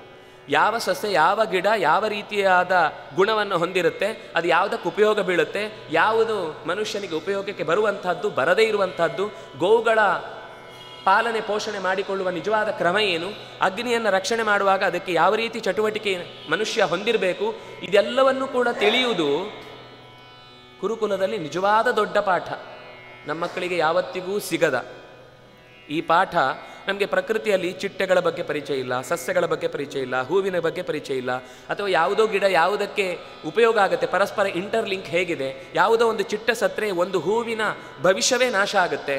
ಕಾಗೆ ಇಲ್ಲ ಅಂತಾದರೆ ಅಕಸ್ಮಾತ್ ಈ ಜಗತ್ತಿನಲ್ಲಿ ಮುಂದೆ ಯಾವತ್ತೂ ಆಲದ ಮರ, ಅಂದರೆ ಅರಳಿ ಮರ ಬೆರೆ, ಬೆಳಿಲಿಕ್ಕೆ ಸಾಧ್ಯ ಇಲ್ಲ. ಯಾಕೆಂದರೆ ಅರಳಿ ಮರದ ಹಣ್ಣನ್ನು ತಿಂದೇ ಅದರಲ್ಲಿ ಬಿದ್ದ ಹಿಕ್ಕೆಯಿಂದಲೇ ನೀವು ಮರದ ಅಥವಾ ಯಾವುದಾದ್ರೂ ಗೋಡೆಯ ಭಾಗದಲ್ಲಿ ಅರಳಿ ಗಿಡ ಬೆಳೆದವರನ್ನು ನೋಡ್ತೀರಿ ನೀವು. ಅಲ್ಲಿಗೆ ಹೋಗಿ ಹೇಗೆ ಬೀಜ ಬಿತ್ತು? ಕಾಗೆ ಹಿಕ್ಕೆಯಲ್ಲಿ ಬಿದ್ದರೆ ಮಾತ್ರ ಅದಕ್ಕೆ ಜೀವ. ಕಾಗೆ ಸತ್ತಿತು ಅಂದರೆ, ಇನ್ಯಾವತ್ತೂ ಕಾಗೆ ಇಲ್ಲ ಅಂತ ಅನ್ನೋ ಪರಿಸ್ಥಿತಿ ಬಂತು ಅಂದರೆ, ಮುಂದೆ ಯಾವತ್ತೂ ಅರಳಿ ಮರವೇ ಇರಲಿಕ್ಕೆ ಸಾಧ್ಯ ಇಲ್ಲ. ಅಂದರೆ ಒಂದು ಪ್ರತಿಯೊಂದು ಗಿಡ, ಚಿಟ್ಟೆಗಳು, ಹೂವು, ಇದೆಲ್ಲದಕ್ಕೂ ಒಂದು ಸಂಬಂಧ ಇದೆ ಅನ್ನೋದನ್ನು ಗುರುಕುಲದಲ್ಲಿ ಆರಂಭದ ಪ್ರಕೃತಿಯ ಪಾಠ ಅಂತ ಅನ್ನುವ ದೃಷ್ಟಿಯಿಂದ ಒಂದು ವರ್ಷ ಅವನಿಗೆ ಜೊತೆಗೆ ಯಾವುದರಲ್ಲಿ ಆಸಕ್ತಿ ಇದೆ? ಒಬ್ಬ ಹುಡುಗನನ್ನು ಟೆಸ್ಟ್ ಮಾಡ್ತಾರೆ. ಅವನು ಯಾವುದ್ಯಾವುದರಲ್ಲಿ ಹೆಚ್ಚು ಆಸಕ್ತಿ ಇದೆ, ನೋಡಿ ಮುಂದೆ ಆ ಶಿಕ್ಷಣವನ್ನು ಮುಂದೆ ಅವನಿಗೆ ಕೊಡುವಂತಹದ್ದು ಬರುತ್ತೆ. ಇದು ಹಿಂದೆ ಗುರುಕುಲದಲ್ಲಿ ಇದ್ದ ಪದ್ಧತಿ. ಹಾಗೆ ಮೂರು ಜನ ಶಿಷ್ಯರು ಇದ್ದರು ಒಬ್ಬ ಆರುಣಿ ಎರಡನೆಯವನು ಉಪಮನ್ಯು ಮೂರನೆಯವನು ಬೈದ ಅಂತ. ಹೀಗೆ ಮೂರು ಜನ ಶಿಷ್ಯರಿದ್ದ ಕಥೆಯನ್ನು ಹೇಳುತ್ತಾರೆ. ಹೀಗೆ ಮೂರು ಜನ ಶಿಷ್ಯರಲ್ಲಿ ಮೊದಲನೆಯವನ ಕಥೆಯನ್ನು ಹೇಳುತ್ತಾರೆ ಆರುಣಿಹಿ ಉಪಮನ್ಯುವಿನ ಕಥೆ ಮೊದಲು ಬಂದಿದೆ. ಮನ್ಯು ಅಂದರೆ ಕೋಪ. ಸ್ವಲ್ಪ ಕೋಪ ಹತ್ತಿರದಲ್ಲಿತ್ತು ಅವನಿಗೆ ಯಾವಾಗಲೂ. ಅದರಿಂದಾಗಿ ಅವನಿಗೆ ಉಪಮನ್ಯು ಅಂತ ಹೆಸರು. ಆದರೂ ಗುರುಕುಲಕ್ಕೆ ಸೇರಿದ ಮೇಲೆ ಅವನ ಉಪಮನ್ಯು ಒಳ್ಳೆಯ ಮನ್ಯು ಆಯಿತು. ಉಪ ಅಂದರೆ ಎತ್ತರ ಅಂತ ಅರ್ಥ. ಎತ್ತರದ ಕೋಪ ಉಳ್ಳವನಾದ. ಅಂದರೆ ಕಾರಣ ಇಲ್ಲದೆ ಕೋಪ ಮಾಡಿಕೊಳ್ಳಿಲ್ಲ ಆಮೇಲೆ. ಕೋಪವನ್ನೇ ಬಿಡುವುದು ಅರ್ಥ ಅಲ್ಲ. ಕೋಪ ಬಂದರೂ ಕೂಡ ಎಲ್ಲಿ ಕೋಪ ಮಾಡ್ಕೊಳ್ಬೇಕು, ಎಲ್ಲಿ ಕೋಪ ಮಾಡ್ಕೊಳ್ಬಾರ್ದು ಅನ್ನುವ ಎಚ್ಚರದಿಂದ ಇರುವ ಹುಡುಗನಾಗಿ ಬೆಳೆದ ಅನ್ನೋದಕ್ಕೋಸ್ಕರ ಅವನಿಗೆ ಉಪಮನ್ಯು ಅಂತ ಹೆಸರು. ಆರುಣಿ ಅಂತ ಇನ್ನೊಬ್ಬ. ಅವನಿಗೆ ಆರುಣಿ ಅಂತ ಯಾಕೆ ಹೆಸರು ಅಂದರೆ, ಮುಂದೆ ಅವನಿಗೆ ಉದ್ದಾಲಕ ಅಂತ ಹೆಸರು ಬಂತು. ಅರುಣಾ ಅನ್ನುವಂತಹ ಒಬ್ಬಳು ಋಷಿ ಕನ್ನಿಕೆ ಇದ್ಲು. ಅಂದರೆ ಋಷ್, ವೇದವನ್ನು ಕಂಡಂತಹ ಋಷಿಕೆ. ದೃಷ್ಟಾರ ದ್ರಷ್ ದ್ರ- ದ್ರಷ್ಟಾರಳವಳು. ಅಂತಹ ದ್ರಷ್ಟಾರಳ ಮಗಳಾದ್ರಿಂದಾಗಿ ತಂದೆ ಹೆಸರಿಗಿಂತ ತಾಯಿ ಹೆಸರೇ ಬಂತು ಅವನಿಗೆ ಎಷ್ಟೋ ಸರ್ತಿ ಬರುವುದು ಹೆಚ್ಚಾಗಿ ತಂದೆ ಹೆಸರು ಬರುತ್ತೆ. ಈಗ ಭಾರ್ಗವ ಅಂತ ಭೃಗುವಿನ ಪರಂಪರೆಯಲ್ಲಿ ಬಂದದ್ರಿಂದ ಭೃಗು ಋಷಿಯ ಹೆಸರು ಬರುತ್ತೆ ಹೊರತು ಹೆಣ್ಣು ಮಕ್ಕಳ ಹೆಸರು ಬರುವುದು ಬಹಳ ಕಮ್ಮಿ. ಆದರೆ ಇಲ್ಲಿ ಅರುಣೆಯ ಮಗ ಆದ್ರಿಂದಾಗಿ ಅವನಿಗೆ ಆರುಣಿ ಅಂತ ಹೆಸರು ಬಂತು. ಮುಂದೆ ಒಬ್ಬ ಬೇದ ಅಂತ ಒಬ್ಬ, ಅಂದರೆ ವೇದದ ಜ್ಞಾನವನ್ನು ತಿಳಿದವ, ಅದು ಭೇದ ಆಗುತ್ತೆ, ಎಲ್ಲೋ ಬಂಗಾಳದವನು ಇರಬೇಕು ವೇದ ಹೋಗಿ ಭೇದ ಆಗಿದೆ. ಆಮೇಲೆ ಅವನ ಪರಿಸರದಲ್ಲಿ ಅವನು ಅಂತಹ ವೇದದ ಶಾಸ್ತ್ರದ ತಿಳುವಳಿಕೆಗೋಸ್ಕರ ಅದನ್ನು ಹೆಚ್ಚು ಶ್ರಮ ಹಾಕಿದಾದ್ರಿಂದಾಗಿ ಮುಂದೆ ಆ ಹೆಸರೇ ಬೈದ ಅನ್ನುವ ಹೆಸರಾಗಿ ಉಳಿಯಿತು. ಅಯೋಧ ಅಂತ ಋಷಿ. ಅಯೋಧ ಅಂದರೆ ಅಯಸ್ ಅಂದರೆ ಕಬ್ಬಿಣ. ಕಬ್ಬಿಣದ ಹಲ್ಲು ಇದ್ದವ ಅಂತ ಅರ್ಥ. ಅಯರ್ನ್ ಅಂತ ಹೆಸರು ಅಯಸ್ ಅನ್ನುವ ಶಬ್ದವೇ ಇಂಗ್ಲೀಷಲ್ಲಿ ಐರನ್ ಆಯ್ತು ಅಷ್ಟೇ ಅದು ರ ರೇಪದ ಜೊತೆಗೆ ಒಂದು ನಕಾರ ಸೇರಿಕೊಂಡಿತ್ತು ಅಷ್ಟೇ ಬಿಟ್ಟರೆ ಅದು ಮೂಲದಲ್ಲಿ ಸಂಸ್ಕೃತದ ಅಯಸ್ಸು ಶಬ್ದ. ಆ ಅಯಸ್ಸು ಶಬ್ದವನ್ನು ಹೇಳಿದ ಮುಂದೆ ಹೇಳ್ತಾರದು ಅದು ಯಾಕೆ ಬಂತು ಅಂತ. ಅವನಿಗೆ ಧೌಮ್ಯ ಅಂತ ಹೆಸರು. ಅವನು ತನ್ನ ಶಿಷ್ಯ ವೃತ್ತಿಯಲ್ಲಿ ಇದ್ದಂತಹ ಮೂರು ಜನರಿಗೂ ಕೂಡ ಚೆನ್ನಾಗಿ ಪಾಠ ಮಾಡಿಕೊಂಡು ಅನೇಕ ರೀತಿಯಾದ ಶಾಸ್ತ್ರವನ್ನು ಉಪದೇಶ ಮಾಡಿದ. ಅದರಲ್ಲಿ ಆರುಣಿಯ ಕಥೆಯನ್ನು ಹೇಳಿ ಒಂದು ದಿವಸ ತೌ ತಂ ಪ್ರತ್ಯ ಪ್ರತ್ಯೂಚತು ಭಗವನ್ ಪ್ರೇಷಿತ ಗಚ್ಚ ಕೇದಾರಖಂಡಂ ವಧಾನ ಇತಿ. ಗುರುಗಳು ಹೇಳಿದರು, ಮಳೆಗಾಲ, ಮಳೆಗಾಲದಲ್ಲಿ ಏನಾಗುತ್ತೆ ಅಂದರೆ ಮೇಲಿನ ಹಾಡಿಯಲ್ಲಿ ನೀರು ಚೆನ್ನಾಗಿ ತುಂಬಿಕೊಂಡ ಮೇಲೆ ಅದು ಕೆಳಕ್ಕೆ ಫೋರ್ಸಿನಲ್ಲಿ ಇಳಿದು ಬರ್ತಾ ಬರ್ತಾ ಬರ್ತಾ ಗದ್ದೆಯ ಭಾಗಕ್ಕೆ ಬರುವಾಗ ದೊಡ್ಡ ಗುಂಡಿಯಾಗಿ ಅಲ್ಲಿ ಕಟ್ಟಿದ ಬದುಗಳನ್ನೆಲ್ಲ ಕೊಚ್ಚಿಕೊಂಡು ಮುಂದೆ ಹೋಗುತ್ತೆ. ಹಾಗೆ ಕೊಚ್ಚಿಕೊಂಡು ಹೋಗುವ ಕೆಳಭಾಗದಲ್ಲಿ ಅವರ ತೋಟ ಇದೆ. ಆ ತೋಟಕ್ಕೂ ಅಷ್ಟೇ ವೇಗವಾಗಿ ನೀರು ಬಂತು ಅಂದರೆ ತೋಟದ ಮಣ್ಣೆಲ್ಲ ಸವಕಳಿಯಾಗಿ ಮೇಲಿನ ಫಲವತ್ತತೆ ಎಲ್ಲ ಹೊರಟು ಹೋಗುತ್ತೆ ಅಂತ ಯೋಚನೆ ಮಾಡಿ ಗುರುಗಳು ಹೇಳಿದರು, ಕೇದಾರ ಖಂಡಂ ಬದಾನ. ಮೇಲಿನ ಖಂಡವನ್ನು, ಅಂದರೆ ಆ ಹಾಡಿಯ ಭಾಗದ ಮೇಲಿನಿಂದ ಹರಿದು ಬರುವ ನೀರಿನ ಜಾಗದಲ್ಲಿ ಏನು ಬದು ಕಡಿದು ಹೋಗಿದೆ ನೀರು ಇಳಿದು ಬರುವಲ್ಲಿ, ಅದನ್ನು ಕಟ್ಟಿ ಬಾ ಅಂತ ಹೇಳಿ ಗುರುಗಳು ಕಳಿಸಿದ್ದಾರೆ. ಬೆಳಿಗ್ಗೆ ಹೋಗಿದ್ದಾನೆ ಹುಡುಗ, ಆರುಣಿ. ಹೋದವನು ಮಧ್ಯಾಹ್ನ ಆಯಿತು, ಬರಲಿಲ್ಲ. ಗುರುಗಳಿಗೂ ನೆನಪ ಇಲ್ಲ. ಸಾಯಂಕಾಲ ಆಗುವಾಗ ಎಲ್ಲಿ ಹೋದ ಇವನು ನಾನು ಬೆಳಿಗ್ಗೆನೆ ಕಟ್ಟುವ, ಅಂದರೆ ಶಿಷ್ಯರ ಹತ್ರ ಕೇಳಿದಾಗ ಹೋದವನು ಬಂದೇ ಇಲ್ಲಲ್ಲ ಹೌದು, ನೀವೇ ಕಳಿಸಿದ್ದಲ್ವಾ? ಕೇದಾರಖಂಡವನ್ನು ಕಟ್ಟಿ ಬನ್ನಿ ಅವನು ಇನ್ನೂ ಬಂದೇ ಇಲ್ಲ ಅಂತ ಆ ಹುಡುಗರು ಹೇಳಿದಾಗ ಹುಡ್ಕೊಂಡು ಹೋಗ್ತಾರೆ ಗುರುಗಳು, ಶಿಷ್ಯರ ಜೊತೆಗೆ. ಕೂಗ್ತಾರೆ, ಹೇ ಆರುಣೇ ಎಲ್ಲಿದ್ದಿ? ನಿನ್ನನ್ನೇ ಹುಡ್ಕೊಂಡು ಬಂದಿದ್ದೇನೆ ಅಂತ ಬಹಳ ದೂರ ಹುಡ್ಕೊಂಡು ಬಂದರೆ ಮೇಲುಗಡೆ ಎಲ್ಲಿ ಆ ನೀರು ಜೋರಾಗಿ ಹರಿದು ಬರ್ತಾ ಇತ್ತೋ ಆ ಜಾಗದಲ್ಲಿ ಈ ಧ್ವನಿ ಕೇಳಿಸ್ತು. ಗುರುಗಳೇ, ನಾನು ಇಲ್ಲಿದ್ದೇನೆ ಅಂತ. ಎದ್ದು ಬಾ ಅಂದರು. ಖಂಡಿತ ಎದ್ದು ಬರಲಾ ಅಂದರು ಅಂದ ಹುಡುಗ. ಎದ್ದು ಬಾ, ನಾನು ಹೇಳ್ತಾ ಇದ್ದೆ ನೀನು ಎದ್ದು ಬಾ ಅಂದ ಸೀದಾ ಅಲ್ಲಿಂದ ಎದ್ದು ಬಂದ. ಹಾಗೆ ದೊಡ್ಡದಾದ ನೀರಿನ ತೊರೆಯ ಹರಿವನ್ನು ತಡೆದು ನಿಲ್ಲಿಸಿ, ಆಗ ಗುರುಗಳು ಹೇಳಿದ ತಕ್ಷಣವೇ ಗುರುಗಳ ಮಾತಿಗೆ ಹೋಗೊಟ್ಟು ಎದ್ದು ಬಂದಾದ್ರಿಂದಾಗಿ ಉತ್ ದಾಲಕ, ಉದ್ದಾಲಕ ಅಂತ ಹೆಸರು ಬಂತು. ಎದ್ದು ಬಂದ ಹುಡುಗ. ಗುರುಗಳು ಹೇಳಿದ ತಕ್ಷಣವೇ ಎದ್ದು ಬಂದ ಹುಡುಗ ಅಂತ ಅವನಿಗೆ ಉದ್ದಾಲಕ ಅಂತ ಹೆಸರು ಬಂತು. ಯಾಕೆ ಇಲ್ಲಿ ಇದ್ದು ಹೀಗೆ? ಗುರುಗಳಿಗೆ ಆಶ್ಚರ್ಯ ಆಯಿತು. ನೋಡುವಾಗ ಶಬ್ದ ಕೇಳಿಸ್ತಾ ಇದೆ, ಹುಡುಗ ಕಾಣಿಸ್ಲಿಲ್ಲ ಮೊದಲು. ಆಮೇಲೆ ಗುರುಗಳ ಬುಡದಲ್ಲಿ ಎದ್ದು ನಿಂತರೆ ನೀರು ಹರಿಯುವ ಜಾಗದಲ್ಲಿ ಅದಕ್ಕೆ ತನ್ನ ಮೈಯನ್ನು ಒಡ್ಡಿ ಮಲಗಿಬಿಟ್ಟಿದ್ದಾನೆ. ಆ ಖಂಡವನ್ನು ಎದ್ದು ನೀರನ್ನು ಹರಿಯುವುದನ್ನು ತಡೆದು ನಿಲ್ಲಿಸಿ ಗುರುಗಳಿಂದ ಆದ್ಯಪ್ತನಾಗಿ ಎದ್ದಾದ್ರಿಂದಾಗಿ ಅವನಿಗೆ ಉದ್ದಾಲಕ ಅಂತ ಹೆಸರು ಬಂತು. ಗುರುಗಳಿಗೆ ಸಂತೋಷ ಆಯಿತು. ಸಏವ ಮುಕ್ತ ಉಪಾಧ್ಯಾಯ. ನಿನ್ನ ಶಿಷ್ಯವೃತ್ತಿ ನಿಜವಾಗ್ಲೂ ನನಗೆ ಖುಷಿಯಾಯಿತು ಗುರುಗಳು ಹೇಳಿದರು ಮೊದಲು, ಯಾಕೆ ಹೀಗೆ ಬದಿಗೆ, ಬದುವಿಗೆ ಅಡ್ಡವಾಗಿ ಮಲಗಿದ್ದೀನಿ? ನೀವು ಹೇಳಿದ ಹಾಗೆ ನಾನು ತುಂಬ ಪ್ರಯತ್ನ ಪಟ್ಟೆ ಎಷ್ಟೆಷ್ಟು ಕಲ್ಲುಗಳನ್ನು, ಮಣ್ಣುಗಳನ್ನು, ಬೇರುಗಳನ್ನೆಲ್ಲ ತ, ತಡೆದು ಹಾಕಿ ನಿಲ್ಲಿಸಿದ್ರು. ವೇಗಕ್ಕೆ ಅದು ನಿಲ್ಲಿಲ್ಲ. ಕೊನೆಗೆ ಆ ಕಡೆಗೆ ಈ ಕಡೆಗೆ ನನ್ನದೇ ಶರೀರವನ್ನು ಒಡ್ಡಿದಾಗಲೇ ಅದು ನೀರು ನಿಂತಿತು. ಅಲ್ಲಿ ಬಂದ ಬೇರೆ ಎಲ್ಲ ಕಸಗಳೆಲ್ಲ ನಿಂತುಕೊಂಡು ನೀರು ಭದ್ರವಾಗಿ ನಿಂತಿದೆ. ವೇಗ ಕಮ್ಮಿ ಆಯಿತು ಅಷ್ಟೇ ಹೊರತು ನಿಲ್ಲಿಸ್ಲಿಕ್ಕಾಗಿರ್ಲಿಕ್ಕಿಲ್ಲ. ಒಟ್ಟಂತೂ ಗುರುಗಳ ಆಸೆ ಈಡೇರಿತು ಅನ್ನುವ ಕಾರಣಕ್ಕಾಗಿ ಧೌಮ್ಯ ಬಹಳ ಸಂತೋಷದಿಂದ ಅವನನ್ನು ಅನುಗ್ರಹಿಸಿದ. ಅವನಿಗೆ ಎಲ್ಲ ಭವಿಷ್ಯತಿ ಉಪಾಧ್ಯಾಯೇನ ಅನುಗೃಹೀತ ಯಸ್ಮಾತ್ವಯ ತ್ವಯ ಮದ್ವಚನಾತ್ ಅನುಷ್ಠಿತಂ ತಸ್ಮಾತ್ ಶ್ರೇಯ ಅವಾಪ್ಸ್ಯಸಿ. ನೀನು ಶ್ರೇಯಸ್ಸನ್ನು ಪಡೀತಿ ಅಂತ ಅವನಿಗೆ ಅನುಗ್ರಹಿಸಿದ. ಹೀಗೆ ಗುರುವಿನ ಮಾತಿಗೆ ಕಟ್ಟು ಬಿದ್ದು ಅವರು ಮನಸ್ಸಿಗೆ ಸಂತೋಷ ಪಡುವ ಹಾಗೆ ನಡೆದುಕೊಂಡ ಅಂತಂದರೆ ಗುರುಗಳು ಆಮೇಲೆ ಪಾಠ ಮಾಡಬೇಕಾಗಿಲ್ಲ. ನಿನಗೆಲ್ಲ ಒಲಿದಿದೆ ಅಂತ ತಲೆ ಮೇಲೆ ಕೈ ಇಟ್ಟರೆ ಸಲಿ ಎಲ್ಲ ಒದಗಿ ಬರುತ್ತೆ. ವಸುತಃ ಅದಕ್ಕಿಂತ ಮುಂಚೆ ಎಲ್ಲ ಪಾಠ ಆಗಿರುತ್ತೆ ಬೇರೆ ಬೇರೆ ರೂಪದಲ್ಲಿ. ಅದು ಬಾಯಿ ಬಿಟ್ಟೆ ಹೇಳಿರುವುದಿಲ್ಲ. ಅವರು ಅನುಗ್ರಹಿಸಿದ ತಕ್ಷಣವೇ ಅವನಿಗೇನು ಅಗತ್ಯವೋ ಅದು ಅವನಿಗೆ ಒಲಿದು ಬರುತ್ತೆ. ಹಾಗಾಗಿ ಗುರುಗಳು ಎಲ್ಲ ಶ್ರೇಯಸ್ಸು ಜ್ಞಾನದ ಶ್ರೇಯಸ್ಸು ನಿನಗೆ ಒದಗಿ ಬರಲಿ ಅಂತ ಅನುಗ್ರಹಿಸಿದ ತಕ್ಷಣವೇ ಬಹಳ ಸಂತೋಷದಿಂದ ಗುರುಗಳಿಗೆ ಅಡ್ಡ ಬಿದ್ದ ಗುರುಗಳು ಹೇಳಿದರು, ನಿನ್ನ ಅಧ್ಯಯನ ಮುಗಿಯಿತು. ನಿನಗೆ ಸ್ನಾತಕೋತ್ತರ ಪದವಿಯನ್ನು ಕೊಟ್ಟಿದ್ದೇನೆ.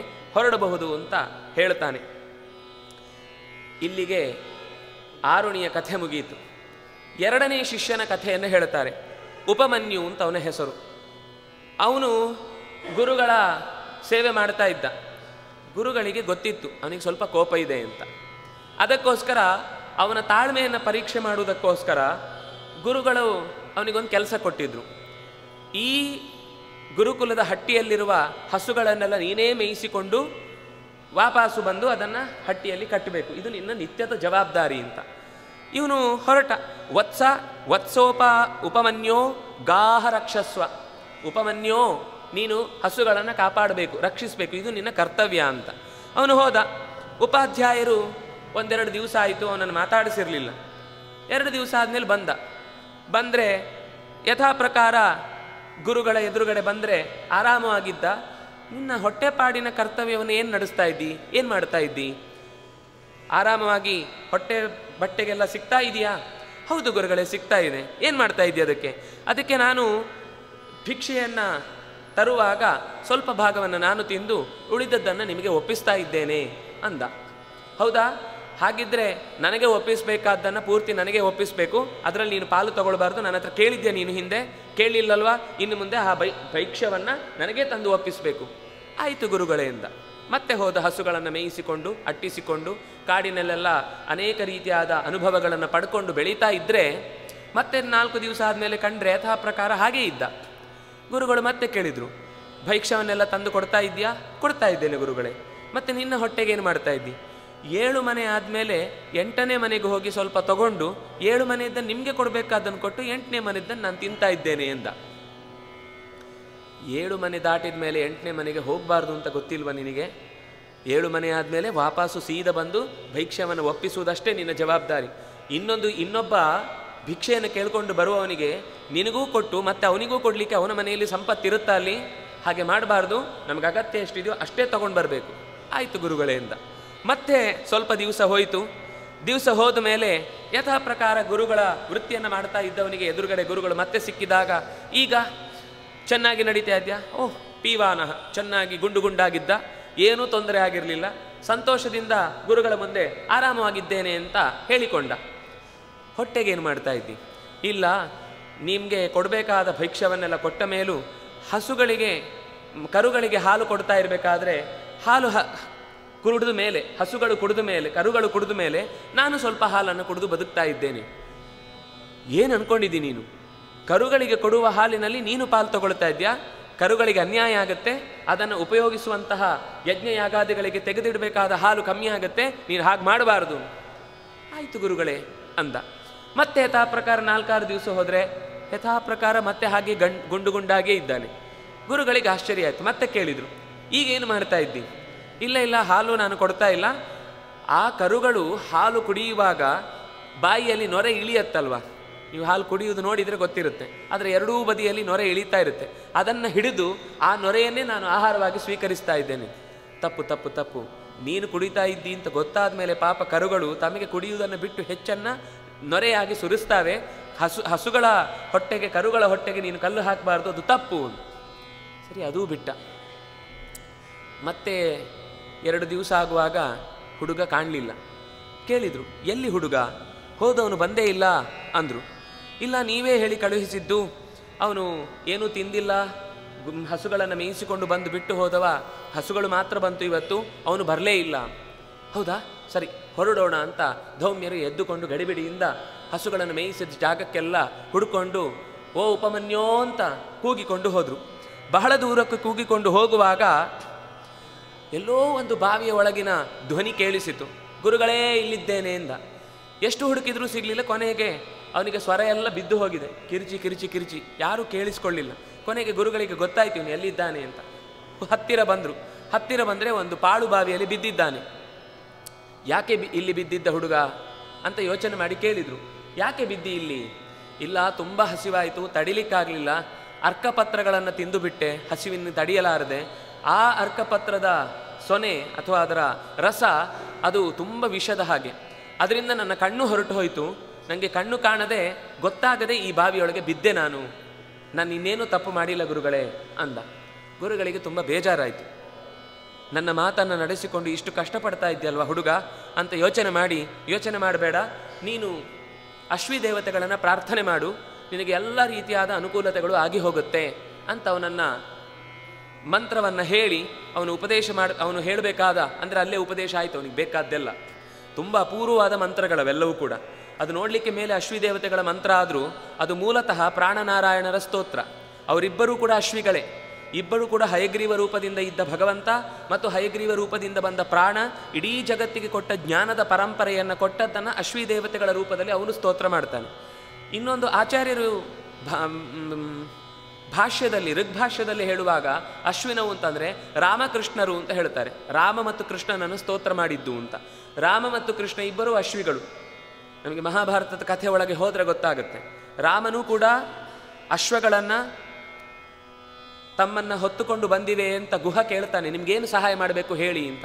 ಆಗ ಮೊದಲು ಹೇಳುದು, ನಮಗೇನು ಮಾಡಬೇಡ, ನಮ್ಮನ್ನು ಇಷ್ಟು ದೂರ ಕರ್ಕೊಂಡು ಬಂದ ಕುದುರೆಗಳಿಗೆ ತುಂಬ ಆಯಾಸ ಆಗಿರುತ್ತೆ.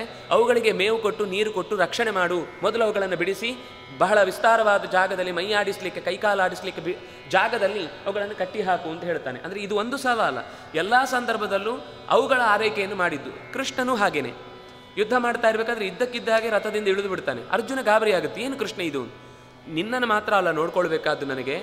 ಆ ಅಶ್ವಕ್ಕೆ ಬಾಣದ ಏಟು ಬಿದ್ದಿದೆ. ಮೊದಲು ಅದನ್ನು ಸರಿಯಾಗಿ, ಯಾಕೆಂದರೆ ನಾಲ್ಕು ಅಶ್ವಗಳಿದ್ದು ಅಷ್ಟನ್ನು ಶಿಬಿರದ ಹತ್ತಿರಕ್ಕೆ ಕರ್ಕೊಂಡು ಹೋಗಿ ಅವುಗಳ ಬಾಣವನ್ನು ಕಿತ್ತು ತೆಗೆದು ಅದಕ್ಕೆ ಮುಲಾಮು ಹಚ್ಚಿ ರಕ್ತ ಸೋರ್ತಾ ಇದ್ದ ಜಾಗವನ್ನೆಲ್ಲ ಕ್ಲೀನ್ ಮಾಡಿ, ಮತ್ತೆ ಅದಕ್ಕೆ ಕವಚವನ್ನು ಹಾಕಿ ಕರ್ಕೊಂಡು ಬಂದ. ಹೀಗೆ ಕೃಷ್ಣನು, ರಾಮನು ಇಬ್ಬರೂ ಕೂಡ ಅಶ್ವವನ್ನು ಬಹಳ ಪ್ರೀತಿಸಿದವರಾದ್ರಿಂದಾಗಿ ಅವರಿಗೂ ಅಶ್ವಿನವು ಅಂತ ಹೆಸರು. ಹಾಗಾಗಿ ಅಶ್ವಿ ದೇವತೆಗಳನ್ನು ಪ್ರಾರ್ಥನೆ ಮಾಡಿದ್ದು ಅಂದರೆ ನಾಸತ್ಯದಸ್ರರು ಹೌದು. ಅದರ ಜೊತೆಗೆ ಭಗವಂತನ ಚಿಂತನೆಯನ್ನ ಹೇಳುವ ಮಂತ್ರಗಳನ್ನು ಉಪದೇಶ ಮಾಡಿದ್ದನ್ನು ಅವನು ಸ್ತೋತ್ರ ಮಾಡ್ತಾನೆ. ಇದು ವೇದ ಮಂತ್ರಗಳೇ ಇಲ್ಲಿ ಸ್ತೋತ್ರ ರೂಪದಲ್ಲಿ ಬಂದಿದೆ. ಅದರ ವಿವರಣೆ ನಾನು ಹೇಳಲಿಕ್ಕೆ ಹೋಗಿದ್ರೆ ಒಟ್ಟಂತೂ ಒಂದು ಮಾತು ಇದೆ. ವೇದಾದಪಿ ಪರಂಚಕ್ರೇ ಮಹಾಭಾರತದ ಬಗ್ಗೆ ಹೇಳುವಾಗ ವೇದಕ್ಕಿಂತಲೂ ಹೆಚ್ಚು ಮಹಾಭಾರತ ಅಂದರೆ ಯಾಕೆ ಅಂದರೆ ವೇದದ ಅರ್ಥವನ್ನು ವಿವರಣೆ ಕೊಡುವ ಗ್ರಂಥ ಅದು ಮಹಾಭಾರತ ಅಂತ. ಇತಿಹಾಸ ಪುರಾಣಾಭ್ಯಾಂ ವೇದಂ ಸಮುಪಬೃಂಹಯೇತ್. ಇತಿಹಾಸ ಮತ್ತು ಪುರಾಣಗಳಿಂದಲೇ ವೇದದ ಅರ್ಥವನ್ನು ತಿಳಿಯಬೇಕು. ಯಾರಿಗೆ ಮಹಾಭಾರತವನ್ನು ರಚನೆ ಮಾಡಿದ್ದು ಅಂತ ಹೇಳ್ತಾ ಭಾಗವತದಲ್ಲೂ ಕೂಡ, ಸ್ತ್ರೀ ಶೂದ್ರ ಬ್ರಹ್ಮ ಬಂಧೂನಾಂ ತ್ರೈನ ಶ್ರುತಿಗೋಚರ ಇತಿ ಭಾರತಮಾಖ್ಯಾನಂ ಕೃಪಯಾ ಮುನಿನೋದಿತಂ. ಯಾರಿಗೆ ವೇದವನ್ನು ನೇರವಾಗಿ ಅಧ್ಯಯನ ಮಾಡಲಿಕ್ಕಿಲ್ಲವೋ, ಅಂಥವರಿಗೆ ವೇದಕ್ಕಿಂತಲೂ ಹೆಚ್ಚಾ ಅವರಿಗೆ ಮಿಸ್ಸೂ ಆಗಬಾರ್ದು. ಹೆಚ್ಚು ಸಿಗಬೇಕು, ಅವ್ರ ಮೇಲೆ ಕರುಣೆ, ಅವ್ರ ಮೇಲೆ ಪ್ರೀತಿ, ಅವರಿಗೆ ಹೆಚ್ಚು ಸಿಗಬೇಕು ಅಂತ ಹೇಳಿ ಮಹಾಭಾರತವನ್ನು ನಾನು ರಚನೆ ಮಾಡ್ತಾ ಇದ್ದೇನೆ ಅಂತ ವೇದವ್ಯಾಸರೇ ಕೃಪಯಾ ಕೃಪೆಯಿಂದ ನಾನು ರಚನೆ ಮಾಡಿದ್ದು ಅಂತ ಹೇಳ್ತಾರೆ. ಅಂತಹ ಮಹಾಭಾರತದಲ್ಲಿ ವೇದಕ್ಕೆ ಬೇಕಾದಷ್ಟು ವ್ಯಾಖ್ಯಾನಗಳು ಸಿಗತ್ತೆ ಅಂತ ಕಣ್ಣು ಬಿಡಿಸಿ ನೋಡಿದವರಿಗೆ ಅಧ್ಯಾಯ ಅಧ್ಯಾಯಗಳಲ್ಲಿ ಮತ್ತೆ ಮತ್ತೆ ವಿವರಣೆ ಸಿಗ್ತಾ ಹೋಗುತ್ತೆ. ನಮಗೆ ಕಥೆ ಮುಖ್ಯ ಆದವರಿಗೆ ಕಥೆ ಬೇಕಾಗುತ್ತೆ, ವೇದದ ವಿವರಣೆ ಬೇಕು ಅಂತ ಕಣ್ಣು ಬಿಡಿಸಿದವರಿಗೆ ವೇದದ ಮಾತುಗಳು ಸಿಗುತ್ತೆ. ಹೀಗೆ ಅಶ್ವಿನೌ ಹಿ ಅಶ್ವಿ ದೇವತೆಗಳನ್ನು ಸ್ತೋತ್ರ ಮಾಡಿ ಅಂತ ಹೇಳಿ ಅವರು ದೇವ ಭಿಷಕ್ ಭಿಷಕ್ ದೇವಭಿಷಕ್ ಅಂದರೆ ದೇವಲೋಕದ ಡಾಕ್ಟರ್ಗಳು ಅವರಿಬ್ರು. ಅವರಲ್ಲಿ ಯುದ್ಧ ಆದಾಗ ಏನಾನು ಘಾಸಿ ಆಯಿತು ಅಂತಂದರೆ ಅದನ್ನು ಹೊಲಿದು ಅಥರ್ವವೇದ ಪೂರ್ತಿ ಹೇಳುತ್ತೆ. ಅಥರ್ವವೇದದಿಂದಲೇ ಆಯುರ್ವೇದ ಹುಟ್ಟಿದ್ದು. ಹಾಗಾಗಿ ಶಸ್ತ್ರಚಿಕಿತ್ಸೆ ಅನ್ನುವುದನ್ನು ಅಥರ್ವವೇದವೇ ಹೇಳುತ್ತೆ. ಗಾಯ ಆದರೆ ಹೇಗೆ ಯಾವ ಲೋಹವನ್ನು ಬಳಸಿ ಆ ಗಾಯವನ್ನು ಕೂಡಿಸಬೇಕು, ಆಗ ಎಂತಹ ನೂಲುಗಳನ್ನು ಬಳಸಬೇಕು ಅನ್ನುವ ಮಾತುಗಳೆಲ್ಲ ನಮ್ಮ ಪೂರ್ವಜರು ಹೇಳಿದ್ದನ್ನು ನಾವು ಮರೆತು ಬಿಟ್ಟಿದ್ದೇವೆ. ಆದರೆ ನಮಗೆ ಈವಾಗ ಯಾವುದೋ ವಿದೇಶದಿಂದ ಬಂದ ಶಸ್ತ್ರಚಿಕಿತ್ಸೆಯ ಪರಮ ಪ್ರಸಾದ ಅಂತ ಭಾವಿಸಿ ನಾವು ಅದನ್ನೇ ಜೈ ಜೈ ಅಂತ. ತಪ್ಪಲ್ಲ, ಅವರು ಅದನ್ನು ಬೆಳೆಸಿದ್ದಾರೆ, ಇಲ್ಲಿಂದೇ ಕದ್ದುಕೊಂಡು ಹೋಗಿದ್ರೂ ಕೂಡ ಸುಶ್ರುತನಿಂದಲೇ ಕದ್ದದ್ದು ಅನ್ನೋದು ಸ್ಪಷ್ಟ ಅದು. ಅದಕ್ಕೆ ಬೇಕಾದಷ್ಟು ದಾಖಲೆಗಳಿವೆ. ಆದರೆ ಒಂದೇನು ಅಂದರೆ, ನಾವದನ್ನು ಎಲ್ಲ ನಮ್ಮ ಹತ್ರ ಇದೆ ಅಂತ ಹೇಳ್ತೇವೆ ಹೊರತು ಹೇಗಿದೆ ಅಂತ ಅದಕ್ಕೊಂದು ಪ್ರಾಕ್ಟಿಕಲ್ ಆಗಿ ತೋರಿಸ್ಬೇಕು ಅಂತನ್ನುವ ಮಾತಿಗೆ ನಾವು ಇಳಿಯುವುದೇ ಇಲ್ಲ, ಕಷ್ಟಪಡುವುದಕ್ಕಿಲ್ಲ. ಎಲ್ಲ ನಮ್ಮ ಹಿಂದಿನವರು ಹೇಳಿದ್ದಾರೆ ಅಂತ ಬೆಂತೊಟ್ಕೊಳ್ಳುವ ವಿಷಯದಲ್ಲಿ ಮಾತ್ರ ನಮ್ಮನ್ನು ನಾವು ಮುಂದಿಡ್ತೇವೆ ಹೊರತು ಅದು ನಿಜವಾಗಿ ಹೇಗೆ ನಡೆದಿದೆ ಅನ್ನೋದನ್ನು ಯೋಚಿಸಿದರೆ ತುಂಬ ಅಪೂರ್ವವಾದ ಸಂಗತಿಗಳು ನಮಗೆ ಗೊತ್ತಾಗುತ್ತೆ. ಹೀಗೆ ಪ್ರಪೂರ್ವಕೌ ಪೂರ್ವಜೌ ಚಿತ್ರಭಾನು ಗಿರಾವಾಂ ಶಂಸಾಮಿ ತಪಸ ಹೆನಂತೌ ದಿವ್ಯೌ ಸುಪರ್ಣೌ ವಿರಜೌ ವಿ, ವಿಮಾನೌ ಅಧಿಕ್ಷಿಪಂತೌ ಭುವನಾನಿ ವಿಶ್ವ. ಇದು ಅಶ್ವಿದೇವತೆಗಳಿಗೆ ಯೋಚನೆ ಮಾಡಿದರೆ ಹೊಂದುವುದೇ ಇಲ್ಲ. ಇದು ಹೇಳ್ತಾ ಇರೋದು ಪ್ರಾಣನಾರಾಯಣರಿಗೆ. ಒಳ್ಳೆಯ ಮಾತುಗಳಿಂದ ಕೂಡಿದವರು ಪ್ರಪೂರ್ವಕವು. ನಿಮಗಿಂತ ಮುಂಚೆ ಯಾರೂ ಇರಲಿಲ್ಲ.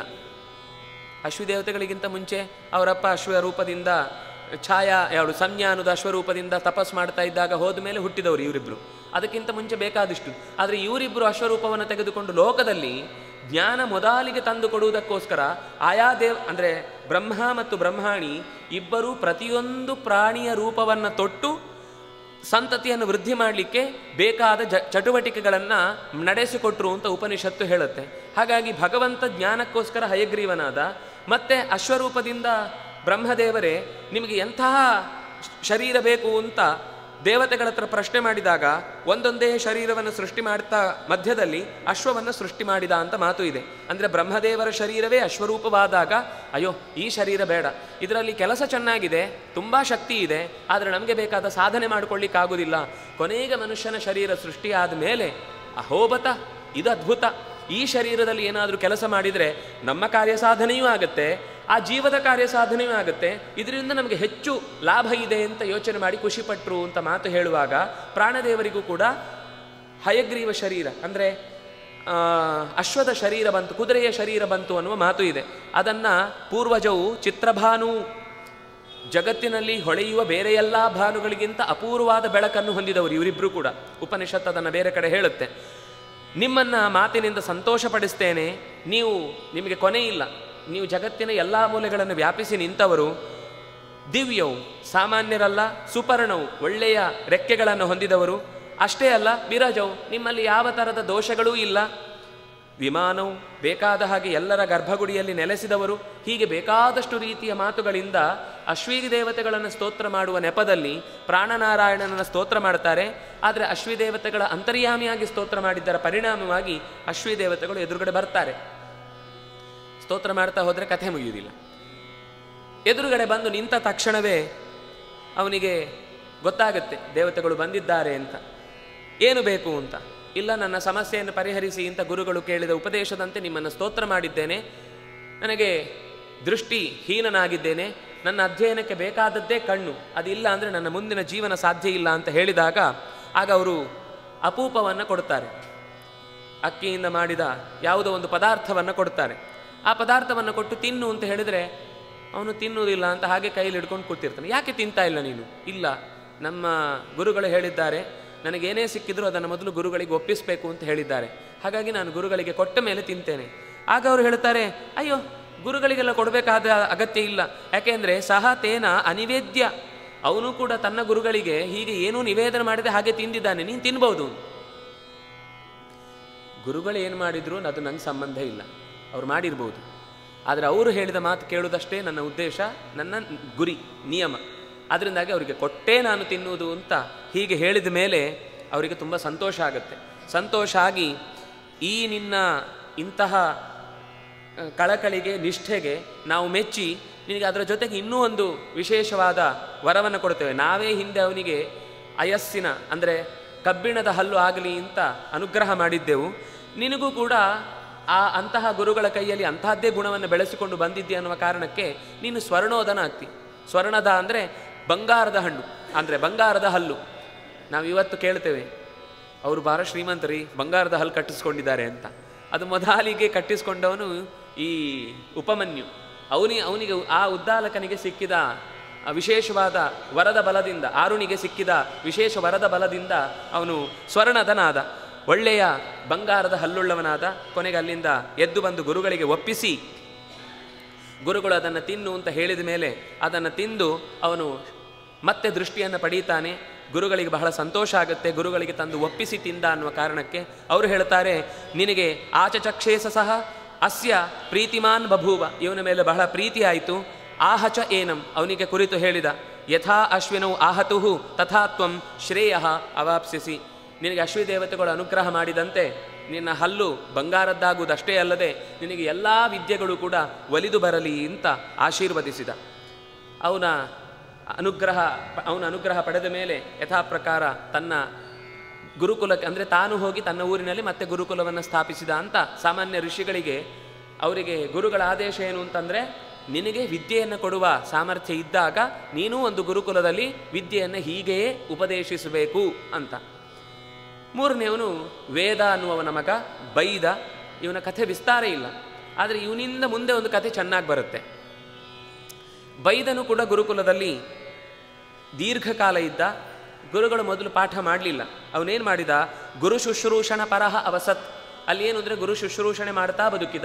ಶುಶ್ರೂಷ ಅಂದರೆ ನಮಗೆ ಕನ್ನಡದಲ್ಲಿ ಡಿಕ್ಷನರಿ ತೆಗೆದು ನೋಡಿದರೆ ಸೇವೆ ಅಂತ ಅರ್ಥ. ವಸ್ತುತಃ ಅದು ಗುರುಗಳಿಗೆ ಸೇವೆ ಅಂದರೆ ನಾವಿಲ್ಲಿ ಚಿಕಿತ್ಸೆ ಅಂತ ಅನ್ನೋ ಅರ್ಥದಲ್ಲಿ ಉಪಯೋಗಿಸ್ತೇವೆ. ಶುಶ್ರೂಷೆ ಮಾಡಿದ್ರು ಅಂದರೆ ಚಿಕಿತ್ಸೆ ಮಾಡಿದ್ರು ಅಂತ.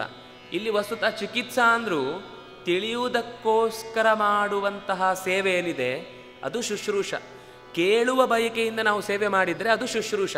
ಅಲ್ಲಿ ಕೇಳುವ ಬಯಕೆ ಏನಿಲ್ಲ. ಅದರ, ಅದೇನಾಗುತ್ತೆ? ಕೇಳುವ ಬಯಕೆಯಿಂದ ಮಾಡುವ ಸೇವೆ ಅನ್ನುವ ಅರ್ಥದಲ್ಲಿ ಕೇಳುವ ಬಯಕೆಯಿಂದ ಮಾಡುವ ಅಷ್ಟು ಡಿಲೀಟ್ ಆಯಿತು. ಸೇವೆ ಅನ್ನುವ ಅರ್ಥ ಮಾತ್ರ ಉಳಿಯಿತು. ಇವತ್ತು ನಾವು ಬಳಸೋದು ಅಷ್ಟೇ ಅರ್ಥದಲ್ಲಿ.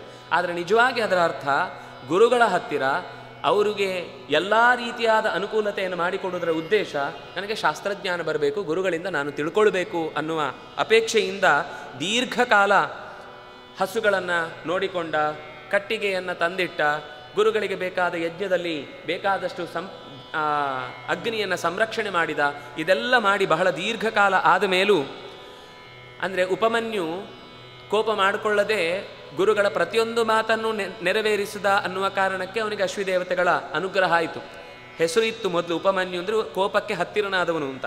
ಆದರೆ ಆ ಕೋಪವನ್ನು ತಾಳ್ಮೆಯಿಂದ ಕಡಿಮೆ ಮಾಡಿಕೊಂಡ ಅನ್ನುವ ಕಾರಣಕ್ಕಾಗಿ ಮುಂದೆ ಒಳ್ಳೆಯ ಕೋಪವನ್ನು ಮಾತ್ರ ಮಾಡಿಕೊಳ್ಳುವವನಾದ ಅನ್ನುವುದಕ್ಕೂ ಅವನಿಗೆ ಉಪಮನ್ಯು ಅನ್ನುವ ಹೆಸರು ಬಂತು. ಹಾಗೆ ಇಲ್ಲಿ ವೇದ ನಿರಂತರ ತಿಳಿಯಬೇಕು ತಿಳಿಯಬೇಕು ಅನ್ನುವ ಕಾರಣಕ್ಕೋಸ್ಕರ ಗುರುಗಳಲ್ಲಿ ಸೇವೆ ಮಾಡಿದ ಹಾಗೆ ಕೊನೆಗೆ ಮಹತಾ ಕಾಲೇನ ಗುರುಹು ಪರಿತೋಷಂ ಜಗಾಮ. ಎಷ್ಟು ದಿವಸ ಆದರೂ ಒಂದು ದಿವಸವೂ ಕೂಡ, ಏನು ಗುರುಗಳೇ, ನೀವು ಬರೀ ಪಾಠ ಮಾಡೋದಿಲ್ಲ ನನಗೆ ಬರೀ ಕಷ್ಟ ಕೊಡ್ತಾ ಇದ್ದೀರಿ. ನಾನು ಇಲ್ಲಿ ಬಂದ ದೇಹಕ್ಕೆ ಎಷ್ಟು ವರ್ಷ ಆಯಿತು? ಅಂತ ಆಕ್ಷೇಪ ಮಾಡದೆ, ತಗ್ಗಿ ಬಗ್ಗಿ ಮತ್ತೂ ಕೂಡ ತಾಳ್ಮೆಯಿಂದ ವರ್ತಿಸಿದ ಅನ್ನುವ ಕಾರಣಕ್ಕೆ ಪರಿತುತೋಷ, ಚೆನ್ನಾಗಿ ಸಂತೋಷಪಟ್ಟು ಅವನಿಗೆ ಹೇಳಿದ, ಸಮಾವರ್ತನೆ ಮಾಡಿದ. ಸಮಾವರ್ತನೆ ಅಂದರೆ ವಿದ್ಯಾಭ್ಯಾಸ ಮುಗಿದ ದಿವಸ, ಇವತ್ತು ಕಾನ್ವೊಕೇಶನ್ ಅಂತ ತಲೆ ಒಂದು ಟೊಪ್ಪಿ ಹಾಕ್ತಾರಲ್ವ? ಯಾವತ್ತು ನಿಮಗೆ ಹಾಕೋದು ನಾವು ಟೊಪ್ಪಿ ಅಂತ. ಹಾಗೆ ಇಲ್ಲಿ ಗುರುಗಳೇ ಒಂದು ಕಲಶದಲ್ಲಿ ಅಭಿಮಂತ್ರಣೆ ಮಾಡಿ, ಅವನಿಗೆ ಹೇಳಬೇಕಾದ ಮಂತ್ರಗಳ ಉಪದೇಶವನ್ನೆಲ್ಲ ಅದರಲ್ಲಿ ಅಭಿಮಂತ್ರಿಸಿ, ಅವನಿಗೆ ಸ್ನಾನ ಮಾಡಿಸ್ತಾರೆ. ಸ್ನಾನ ಮಾಡಿಸಿ, ಆ ಸ್ನಾನ ಮಾಡಿದ ನಂತರವೇ ಅವನು ಮೊದಲಿನ ಕಾಡಲ್ಲಿರಬೇಕಾದ್ರೆ ಯಾವತ್ತು ದಾಡಿ ತೆಗಿಲಿಕ್ಕಿಲ್ಲ, ತಲೆ ಕೂದಲು ಕತ್ತರಿಸಲಿಕ್ಕಿಲ್ಲ, ಇದೆಲ್ಲವೂ ಹಾಗೆ ಕೇವಲ ಅಧ್ಯಯನ ಗುರುಗಳ ಸೇವೆ. ಇದು ಬಿಟ್ಟು ಬೇರೆ ಯೋಚನೆಯೇ ಇಲ್ಲ. ಈಗ ಅದು ಬಿಟ್ಟು ಎಲ್ಲವೂ ಇರುತ್ತೆ. ಅಧ್ಯಯನ ಒಂದು ಬಿಟ್ಟು ಗುರುಗಳು ಸಿಗುವುದು ಒಂದು ಗಂಟೆ, ಉಳಿದಂತೆ ಎಲ್ಲವೂ ತಂದೆ ತಾಯಿಗಳ ಹತ್ರ ಹೋಗುದು, ಮನೆಗೆ ಹೋಗುದು, ಇನ್ನೆಲ್ಲೋ ಹೋಗುದು. ಆ ಸಮಾರಂಭ, ಈ ಸಮಾರಂಭ ನೂರಾರು ಕಾರ್ಯಕ್ರಮಗಳಲ್ಲಿ ಇದ್ದಾಗ ಮಕ್ಕಳಿಗೆ ವಿದ್ಯೆ ಹತ್ತುವುದೇ ಕಷ್ಟ. ಹಿಂದೆ ಹಾಗೆ ಹೋದವರಿಗೆ ಅಧ್ಯಯನ ಅಂದರೆ ಅದು ಬಿಟ್ಟು ಬೇರೆ ಯೋಚನೆ ಇಲ್ಲ. ಆದ್ರಿಂದಾಗಿ ಅಂತಹ ಒಳ್ಳೆಯ ಶಿಷ್ಯರು ಮೂಡಿ ಬರ್ತಾ ಇದ್ರು. ಗುರುಕುಲದ ಉದ್ದೇಶವೂ ಹಾಗೆ, ಕೇವಲ ಪಾಠ ಮಾತ್ರ ಅಲ್ಲ. ಗುರುಗಳ ಜೊತೆಗೆ ಹೇಗೆ ಓಡಾಡ್ತಾ ಓಡಾಡ್ತಾ ನಾವು ನಡೆಯಬೇಕು, ನಡ್ಕೊಳ್ಬೇಕು ಅನ್ನುವುದು ಗೊತ್ತಾಗ್ತಿತ್ತು. ಹಾಗಾಗಿ ಅವನು ಮಾಡುವ ಪ್ರತಿಯೊಂದು ಚರ್ಯೆಯಲ್ಲೂ ಅವನ ಏರಿಳಿತವನ್ನು ಗುರುಗಳು ಗಮನಿಸಿ ತಿದ್ದುತ್ತಾ ಇದ್ರು. ಇಲ್ಲಿ ಹಾಗಿಲ್ಲ. ಗುರುಗಳು ನಿಂತು ಪಾಠ ಮಾಡಬೇಕು, ಶಿಷ್ಯರು ಕೂತು ಪಾಠ ಕೇಳಬೇಕು. ಗುರುಗಳು, ಶಿಷ್ಯರು ಫೀಸ್ ಕಟ್ಟಿರ್ತಾರೆ, ಶಿಷ್ಯರು ಅದನ್ನು ಒಪ್ಪಿಸಬೇಕು. ಅನಿವಾರ್ಯ. ಹೀಗೆ ಒಂದು ಸಂಬಂಧ ಅನ್ನೋದು ಕೇವಲ ಕಮರ್ಷಿಯಲ್ ಆಗಿದೆ ಹೊರತು ಜ್ಞಾನ ಬರಬೇಕು ಅನ್ನುವ ಸಂಬಂಧ ಇಲ್ಲದೇ ಇದ್ದಾಗ ಯೋ ದದ್ಯಾತ್ ಸುಪ್ರಸನ್ನಧೀಹಿ. ಯಾರು ನಿನಗೆ ಒಳ್ಳೇದಾಗಲಪ್ಪ ಅಂತ ಸಂತೋಷದಿಂದ ತಲೆ ಮೇಲೆ ಕೈ ಇಡುವಂತಹ ಗುರುಗಳು ಸ್ವಲ್ಪ ಕಮ್ಮಿಯೇ ಸ್ವಲ್ಪ ಅಲ್ಲ, ತುಂಬ ಕಮ್ಮಿ. ಯಾಕೆಂದರೆ ಅವರು ಮೂವತ್ತೈದು ಪಾಸಾಗಿ ಮುಂದಿನ ಮರು ದಿವಸ ಪಾಠಕ್ಕೆ ಬರುವವರು. ಅಥವಾ ಕೆಲವೊಮ್ಮೆ ಗೊತ್ತೇ ಇರುವುದಿಲ್ಲ ಯಾವುದೋ ಒಂದು ನಮ್ಮದೇ ಜಾಗ ಅಂತ ಮೊದಲೇ ಫಿಕ್ಸ್ ಮಾಡಿಕೊಂಡು ಬಂದ ತಳ್ಳುವಿಕೆಯೋ ಅಥವಾ ಇನ್ನೊಬ್ಬರ ಕೈಯಿಂದ ಒತ್ತಡವೋ ಹಾಕಿಕೊಂಡು ಬರೋರಾದ್ರಿಂದಾಗಿ ಅಂತಹ ಗುರುಗಳನ್ನು ನಿರೀಕ್ಷೆ ಮಾಡುವುದು ಕಷ್ಟ. ಆದರೆ ವಸ್ತುತಃ ಗುರು ಶಿಷ್ಯರ ಸಂಬಂಧ ಹೇಗೆ ಅಂದರೆ, ಆಚಾರ್ಯ ಪೂರ್ವರೂಪಂ. ಎರಡು ಅರಣಿ ಇದ್ದ ಹಾಗೆ ಅಂತ. ಅರಣಿ ಅಂದರೆ, ನೀವು ಮಹಾ ದೊಡ್ಡ ಯಾಗಗಳೆಲ್ಲ ನಾವು ನೋಡಿದರೆ ಅಲ್ಲಿ ಹಿಂದಿನ ದಿವಸ ರಾತ್ರಿ ಒಂದು ಮರದ ಕೊರಡಿನ ಮೇಲೆ ಇನ್ನೊಂದು ಕೊರಡನ್ನಿಟ್ಟು ಆ ತೂತಿನಲ್ಲಿ ಅದನ್ನು ಕಡೀತಾರೆ. ಚೆನ್ನಾಗಿ ಕಡಿಯುವಾಗ, ಅದು ಯಾಜ್ಞೀಯ ವೃಕ್ಷದಲ್ಲಿ ಕಡಿದ್ರೆ ಮಾತ್ರ ಬೆಂಕಿ ಬರುತ್ತೆ. ಯಾವುದ್ಯಾವುದೋ ಮರ ತುಂಡು ನಮಗೆ ಡಿಪೋದಲ್ಲಿ ಸಿಕ್ಕಿದ್ದೆಲ್ಲ ಆಗುದಿಲ್ಲ. ಅದಕ್ಕೆ ಸಂಬಂಧಪಟ್ಟ ಮರದಲ್ಲಿ ಚೆನ್ನಾಗಿ ತಿಕ್ಕಿದಾಗ ಅದರಲ್ಲಿ ಬೆಂಕಿ ಬರುತ್ತೆ. ಗುರು ಮತ್ತು ಶಿಷ್ಯ ಅಂದರೆ ಪರಸ್ಪರ ತಿಕ್ಕಿಕೊಳ್ಳುವವರು ಅಂತ. ಅಂದರೆ ಶಿಷ್ಯನಿಗೂ ಪ್ರಶ್ನೆ ಮಾಡಲಿಕ್ಕೆ ಎಷ್ಟು ಹೇಳ್ತಾರೆ ಅಂದರೆ, ಹೇಗೆ ಗುರುಗಳು ಶಿಷ್ಯನನ್ನು ಪರೀಕ್ಷೆ ಮಾಡ್ತಾನೋ, ಹಾಗೆ ಶಿಷ್ಯನಿಗೂ ಕೂಡ ನನಗೆ ಬೇಕಾದ್ದನ್ನು ಈ ಗುರು ಹೇಳಬಹುದಾ ಅಂತನ್ನುವ ಪರೀಕ್ಷೆಯನ್ನು ಮಾಡಲಿಕ್ಕಿದೆ. ಆದರೆ ಪರೀಕ್ಷೆ ಮಾಡುವುದು ಅದು ಕುಹಕದಿಂದ ಅಲ್ಲ, ನನಗೆ ಬೇಕಾದ ವಿದ್ಯೆಯನ್ನು ಕೊಡುವ ಎತ್ತರ ಇವರಿಗಿದೆಯಾ ಅಂತ ನೋಡಿ, ಅದು ಇದೆ ಅಂತಂದರೆ ಅವರಿಗೆ ಆಮೇಲೆ ಅವ್ರು ಏನು ಹೇಳಿದರೂ ಅದಕ್ಕೆ ಅಸ್ತು ಅದಕ್ಕಿಂತ ಮುಂಚೆ ಅವನಿಗೆ ತನಗೆ ಬೇಕಾದ ಸಿಗುವುದಿಲ್ಲ ಅಂದರೆ ಅವ್ರ ಹತ್ರ ನಮಸ್ಕಾರ ಮಾಡಿ, ನನಗೆ ಇದಕ್ಕಿಂತ ಹೆಚ್ಚಿನ ವಿದ್ಯೆ ಬೇಕು. ನಾನು ಮೇಲಿನ ಗುರುಗಳ ಹತ್ರ ಹೋಗಬೇಕಿದೆ, ನನಗೆ ಅನುಜ್ಞೆ ಕೊಡಿ ಅಂತ ಕೇಳ್ತಾನೆ. ಅನುಗ್ರಹ ಪಡೆದು ಬೇರೆ ಗುರುಗಳ ಹತ್ರ ಹೋಗ್ತಾನೆ. ತನಗೆ ಬೇಕಾದ ಸಿಗುವುದಿಲ್ಲ ಅಂತಂದರೆ. ಅಂದರೆ ಹೀಗೆ ಎಲ್ಲರಿಗೂ ಗುರುಕುಲದಲ್ಲಿ ಗುರುಗಳನ್ನೂ ಪರೀಕ್ಷೆ ಮಾಡುವುದಿತ್ತು, ಗುರುಗಳು ಕೂಡ ಅವನನ್ನು ಪರೀಕ್ಷೆ ಮಾಡುವುದಿತ್ತು. ಹೀಗೆ ಎರಡೂ ಥರದ ಪರೀಕ್ಷೆಗಳ ನಡುವೆ ಬೈದ ಗೆದ್ದ ಅವನನ್ನು ಆಶೀರ್ವದಿಸಿ ಸಮಾವರ್ತನೆ ಮಾಡಿ ಕಳುಹಿಸಿಕೊಟ್ರು. ಏನು ಅಂತ ಆದೇಶ ಮಾಡಿದ್ರು? ನೀನು ಕೂಡ ಒಂದು ಗುರುಕುಲ ಇತ್ತು. ಇಟ್ಟು ಅದರಲ್ಲಿ ಶಿಷ್ಯರನ್ನು ಚೆನ್ನಾಗಿ ಸಿದ್ಧಗೊಳಿಸಿ ಲೋಕಕ್ಕೆ ಜ್ಞಾನದ ಪರಂಪರೆಯನ್ನು ಮುಂದುವರೆಸು ಅಂತ ಹೇಳ್ತಾ ಇದ್ರು. ಅಂದರೆ ಒಂದರ್ಥದಲ್ಲಿ ಗುರುಗಳಿಗೆ ಶಿಷ್ಯರು ಅಂದರೆ ಕೇವಲ ಶಿಷ್ಯರಲ್ಲ, ಅವರು ಮಕ್ಕಳಿದ್ದ ಹಾಗೆ. ಯಾಕೆಂದರೆ ಹನ್ನೆರಡು ವರ್ಷ ತಂದೆ ತಾಯಿಗಳನ್ನು ಬಿಟ್ಟು ಎಲ್ಲ ತಂದೆ ತಾಯಿಗಳ ಸ್ಥಾನವನ್ನು ತುಂಬುವುದು ಗುರುಗಳೇ. ಆಗ ಆ ಗುರುಪತ್ನಿಯೇ ತಾಯಿ ಸ್ಥಾನದಲ್ಲಿದ್ದು ಆ ಮಗುವಿಗೆ ಬೇಕಾದ ಎಲ್ಲ ಅನುಕೂಲತೆಗಳನ್ನು ಮಾಡಿಕೊಡುವುದು ಅನ್ನುವುದು ಉಪನಿಷತ್ತುಗಳಲ್ಲಿ ಎಲ್ಲ ಕಡೆಯಲ್ಲೂ ಬರುವ ಮಾತು. ಹಾಗಾಗಿ ಬೈದ ಅಂದರೆ ಇದೊಂದು ಜನ್ರೇಷನ್ ಗ್ಯಾಪ್ ಅನ್ನು ಹೇಳ್ತಾ ಇದೆ. ನೆಕ್ಸ್ಟ್ ಬೈದನ ತನಕ ಸಿಕ್ಕಾಪಟ್ಟೆ ಶಿಕ್ಷೆ ಅಥವಾ ಪರೀಕ್ಷೆ ಇತ್ಯಾದಿಗಳು ಕರಾರುವಕ್ಕಾಗಿ ನಡೀತಾ ಇತ್ತು. ಆದರೆ ಬೈದ ಹಾಗೆ ಮಾಡಲಿಲ್ಲ. ತನ್ನ ಮುಂದಿನ ಶಿಕ್ಷಣ ಕೊಡುವ ಕ್ರಮದಲ್ಲಿ ಅವರು ಯೋಗ್ಯರೋ ಅಂತ ಇತ್ಯಾದಿ ಪರೀಕ್ಷೆ ನಡೀತಾ ಇತ್ತು. ಆದರೆ ತುಂಬ ಶಿಕ್ಷೆ ಅನ್ನುವ ನೆಪದಲ್ಲಿ ಪರೀಕ್ಷೆಗಳಿರಲಿಲ್ಲ. ಈಗ ಅವರಿಗೆ ಹೇಗೆ, ಕೇದಾರ ಖಂಡಂಬಧಾನ ನೀನು ಹೋಗಿ ಅಲ್ಲಿ ನೀರು ನಿಲ್ಲಿಸು ಇಲ್ಲಿ ಹಸುಗಳನ್ನು ಮೇಯಿಸು, ನಿನಗೆ ಹೊಟ್ಟೆಗೇನು ತಿನ್ನಬೇಡ ಅಥವಾ ಇನ್ನು ಬೇರೆ ಬೇರೆ ಶಿಕ್ಷೆಗಳನ್ನೆಲ್ಲ ಉಪನಿಷತ್ತಲ್ಲಿ ನೋಡಿದರೆ ನಾವು ಗಮನಿಸ್ತೇವೆ. ಅಂತಹ ಶಿಕ್ಷೆಯನ್ನು ಕೊಡದೆ ಕೇವಲ ನೀವು ಗುರುಕುಲದಲ್ಲಿ ಇದ್ದು ಚೆನ್ನಾಗಿ ವಿದ್ಯಾಭ್ಯಾಸ ಮಾಡುವುದೊಂದೇ ನಿಮ್ಮ ಕರ್ತವ್ಯ. ಈಗ ನಮ್ಮ ಜನ್ರೇಷನಲ್ಲಿ ಅಕಸ್ಮಾತು ಶಾಲೆಯಿಂದ ಏನಾದರೂ ಒಂದು ಕರೆ ಬಂತು ಅಂದರೆ ತಂದೆ ತಾಯಿಗಳಿಗೆ, ತಂದೆ ತಾಯಿಗಳು ಹೋಗಿ ಗುರುಗಳೇನಾದರೂ ಕಂಪ್ಲೇಂಟ್ ಹೇಳಿದರೆ ಮೊದಲು ತಂದೆ ತಾಯಿಗಳೇ ಎರಡು ಬಾರಿಸ್ತಿದ್ರು. ಇವಾಗ ಏನಾದರೂ ಕರೆ ಬಂದರೆ ತಂದೆ ತಾಯಿಗಳು ವಾಪಸ್ ಗುರುಗಳಿಗೆ ಜೋರು ಮಾಡ್ತಾರೆ. ನನ್ನ ಮಗನಿಗೆ ನಾನೇ ಮನೆಯಲ್ಲಿ ಹೊಡೆಯಲ್ಲ, ನೀವೇನು ಹೊಡೆಯುವುದು ಅಂತ. ನೋಡಿ ಒಂದು ಜನ್ರೇಷನ್ ಗ್ಯಾಪ್ ಈ ಗ್ಯಾಪನ್ನು ಈ ಕತೆ ಹೇಳ್ತಾ ಇದೆ. ಬೈದನ ತನಕ ಏನು ನಡೀತಾ ಇತ್ತೋ ಆ ಶಿಕ್ಷೆಯ ಕ್ರಮ ನೆಕ್ಸ್ಟ್ ಜನ್ರೇಷನಲ್ಲಿ ಕಮ್ಮಿ ಆಯಿತು. ಅವನೇನು ಹೇಳ್ದ? ನೀವು ಕಲೀರಿ ಅಷ್ಟೇ. ಯಾಕಂದರೆ ಹೀಗೆ ನಾವು ತುಂಬ ಶಿಕ್ಷೆ ಕೊಡ್ತಾ ಹೋದರೆ ಶಿಕ್ ವಿದ್ಯಾರ್ಥಿಗಳು ಕಮ್ಮಿ ಆಗ್ತಾ ಹೋಗುತ್ತೆ. ತುಂಬ ನಾವು ರಿಸ್ಟ್ರಿಕ್ಷನ್ ಮಾಡ್ತಾ ಹೋದರೆ, ಅಧ್ಯಯನ ಮಾಡುವ ಹುಡುಗರು ಕಮ್ಮಿ ಆದರೆ ವಿದ್ಯೆಯ ಪರಂಪರೆ ನಾಶ ಆಗುತ್ತೆ ಅಂತ ಆ ಶಿಕ್ಷೆ ಕೊಡುವ ಪ್ರಮಾಣವನ್ನು ಕಮ್ಮಿ ಮಾಡಿ, ಶಿಕ್ಷಣವನ್ನು ಹೆಚ್ಚು ಜಾಗೃತಗೊಳಿಸ್ತಾ, ಹೆಚ್ಚು ಒತ್ತು ಕೊಟ್ಟ ಅನ್ನುವ ಮಾತು ಬರುತ್ತೆ. ಅವನಿಗೆ ಇದ್ದ ಶಿಷ್ಯರಲ್ಲಿ ಒಬ್ಬ ಉದಂಕ ಅಂತ ಅವನ ಹೆಸರು. ಉತ್ತಂಕ ಅಂತ ಕರೀತಾರೆ. ಎರಡೂ ಥರದ ಹೆಸರುಗಳು ಅಲ್ಲಲ್ಲಿ ನಮಗೆ ಬೇರೆ ಬೇರೆ ಕಡೆ ಕಾಣುತ್ತೆ. ಎರಡೂ ಇಟ್ಟುಕೊಂಡ್ರು ತಪ್ಪೇನಿಲ್ಲ. ಉದಂಕ ಅಂದರೆ ಎಲ್ಲಿ ನೀರು ಕಂಡ್ರು ಅಂದರೆ ಎಲ್ಲಿ, ಅದು ಹಿಂದಿನವರದ್ದು ಒಂದು ಗುಣ. ಇವರು ಅಂತಲ್ಲ, ಯಾರೇ ಋಷಿಮುನಿಗಳು ನಡೆದು ಹೋಗುವಾಗ ದಾರಿಯಲ್ಲಿ ಎಲ್ಲಿಯಾದರೂ ನದಿ ಕಂಡಿತು ಅಂತಂದರೆ, ತೀರ್ಥಕ್ಷೇತ್ರ ಕಂಡಿತು ಅಂತಂದರೆ ಅಲ್ಲಿ ಹೋಗಿ ತಲೆಗೆ ನೀರನ್ನು ಪ್ರೋಕ್ಷಣೆ ಮಾಡಿಕೊಂಡು ಒಂದು ಆಚಮನೆ ಮಾಡಿ ಆ ನದಿಯ ದೇವತೆಗೆ ಒಂದು ಅರ್ಘ್ಯವನ್ನು ಕೊಟ್ಟು ಇಂತಹ ನೀರಿನ ಮೂಲಕ ಈ ಜೀವ ನದಿಯಾಗಿ ನಮ್ಮ ಎಲ್ಲ ಊರನ್ನು, ನದಿ ಜನರನ್ನು ಉಳಿಸ್ತಾ ಇದ್ದಿ ಅಂತ ಒಂದು ಕೃತಜ್ಞತೆಯನ್ನು ಅರ್ಪಿಸಿ ಬರುವುದು ಅಂತ ಒಂದು ಮಾತು ಇದೆ. ಇದು ಕಾಳಿದಾಸನು ಅಭಿಜ್ಞಾನ ಶಾಕುಂತಲದಲ್ಲಿ ಇಂಥದ್ದೊಂದು ಮಾತು ಹೇಳ್ತಾನೆ. ಅವಳು ಯಾರು ಶಕುಂತಲೆ ದುಷ್ಯಂತನ ಹತ್ರ ದುಷ್ಯಂತ ಒಪ್ಕೊಳ್ಳೋದಿಲ್ಲ, ಅವನಿಗೆ ಮರ್ತು ಹೋಗಿದೆ, ಇವಳು ಯಾರು ಅಂತ. ನೀನೇ ಕೊಟ್ಟ ಒಂದು ನೆನಪಿನ ವಸ್ತುವನ್ನು ತೋರಿಸಿದರೆ ನೀನು ನಂಬ್ತೀಯಾ ಅಂತ ಕೇಳ್ತಾಳೆ. ಓ, ಖಂಡಿತ. ನನಗೆ ಅದರಲ್ಲೇನು ಸಂದೇಹ ಇಲ್ಲ. ಹೌದು ಅಂತ ಆದರೆ ನಾನು ಹೌದು ಅಂತ ಒಪ್ಪಿಕೊಳ್ಳುವನು ಅಂತ ಹೇಳಿದಾಗ ತನ್ನ ಕೈಯಲ್ಲಿದ್ದ ಉಂಗುರವನ್ನು ತೋರಿಸ್ಲಿಕ್ಕೆ ಅಂತ ಕೈ ಎತ್ತುತ್ತಾಳೆ. ನೋಡಿದರೆ ಉಂಗುರ ಇರುವುದಿಲ್ಲ. ಇದೇನು ಉಂಗುರ ಇಲ್ಲ ಅಂತ ಅವಳನ್ನು ಕರ್ಕೊಂಡು ಬಂದ ಗೌತಮಿ ಎನ್ನುವ ತಪಸ್ವಿನಿ ಎನ್ನುವ ವೃದ್ಧ ತಪಸ್ವಿನಿಯನ್ನು ಮಾತ್ ನೋಡ್ತಾಳೆ. ಏನಾಯ್ತು ಇದು ಅಂತ. ಅವಳು ತಕ್ಷಣ ಹೇಳ್ತಾಳೆ ಶಚೀತೀರ್ಥಂ ವಂದಮಾನಾಯ ಪ್ರಭ್ರಷ್ಟಮಿದಂ ಅಂಗುಲೀಯಕಂ.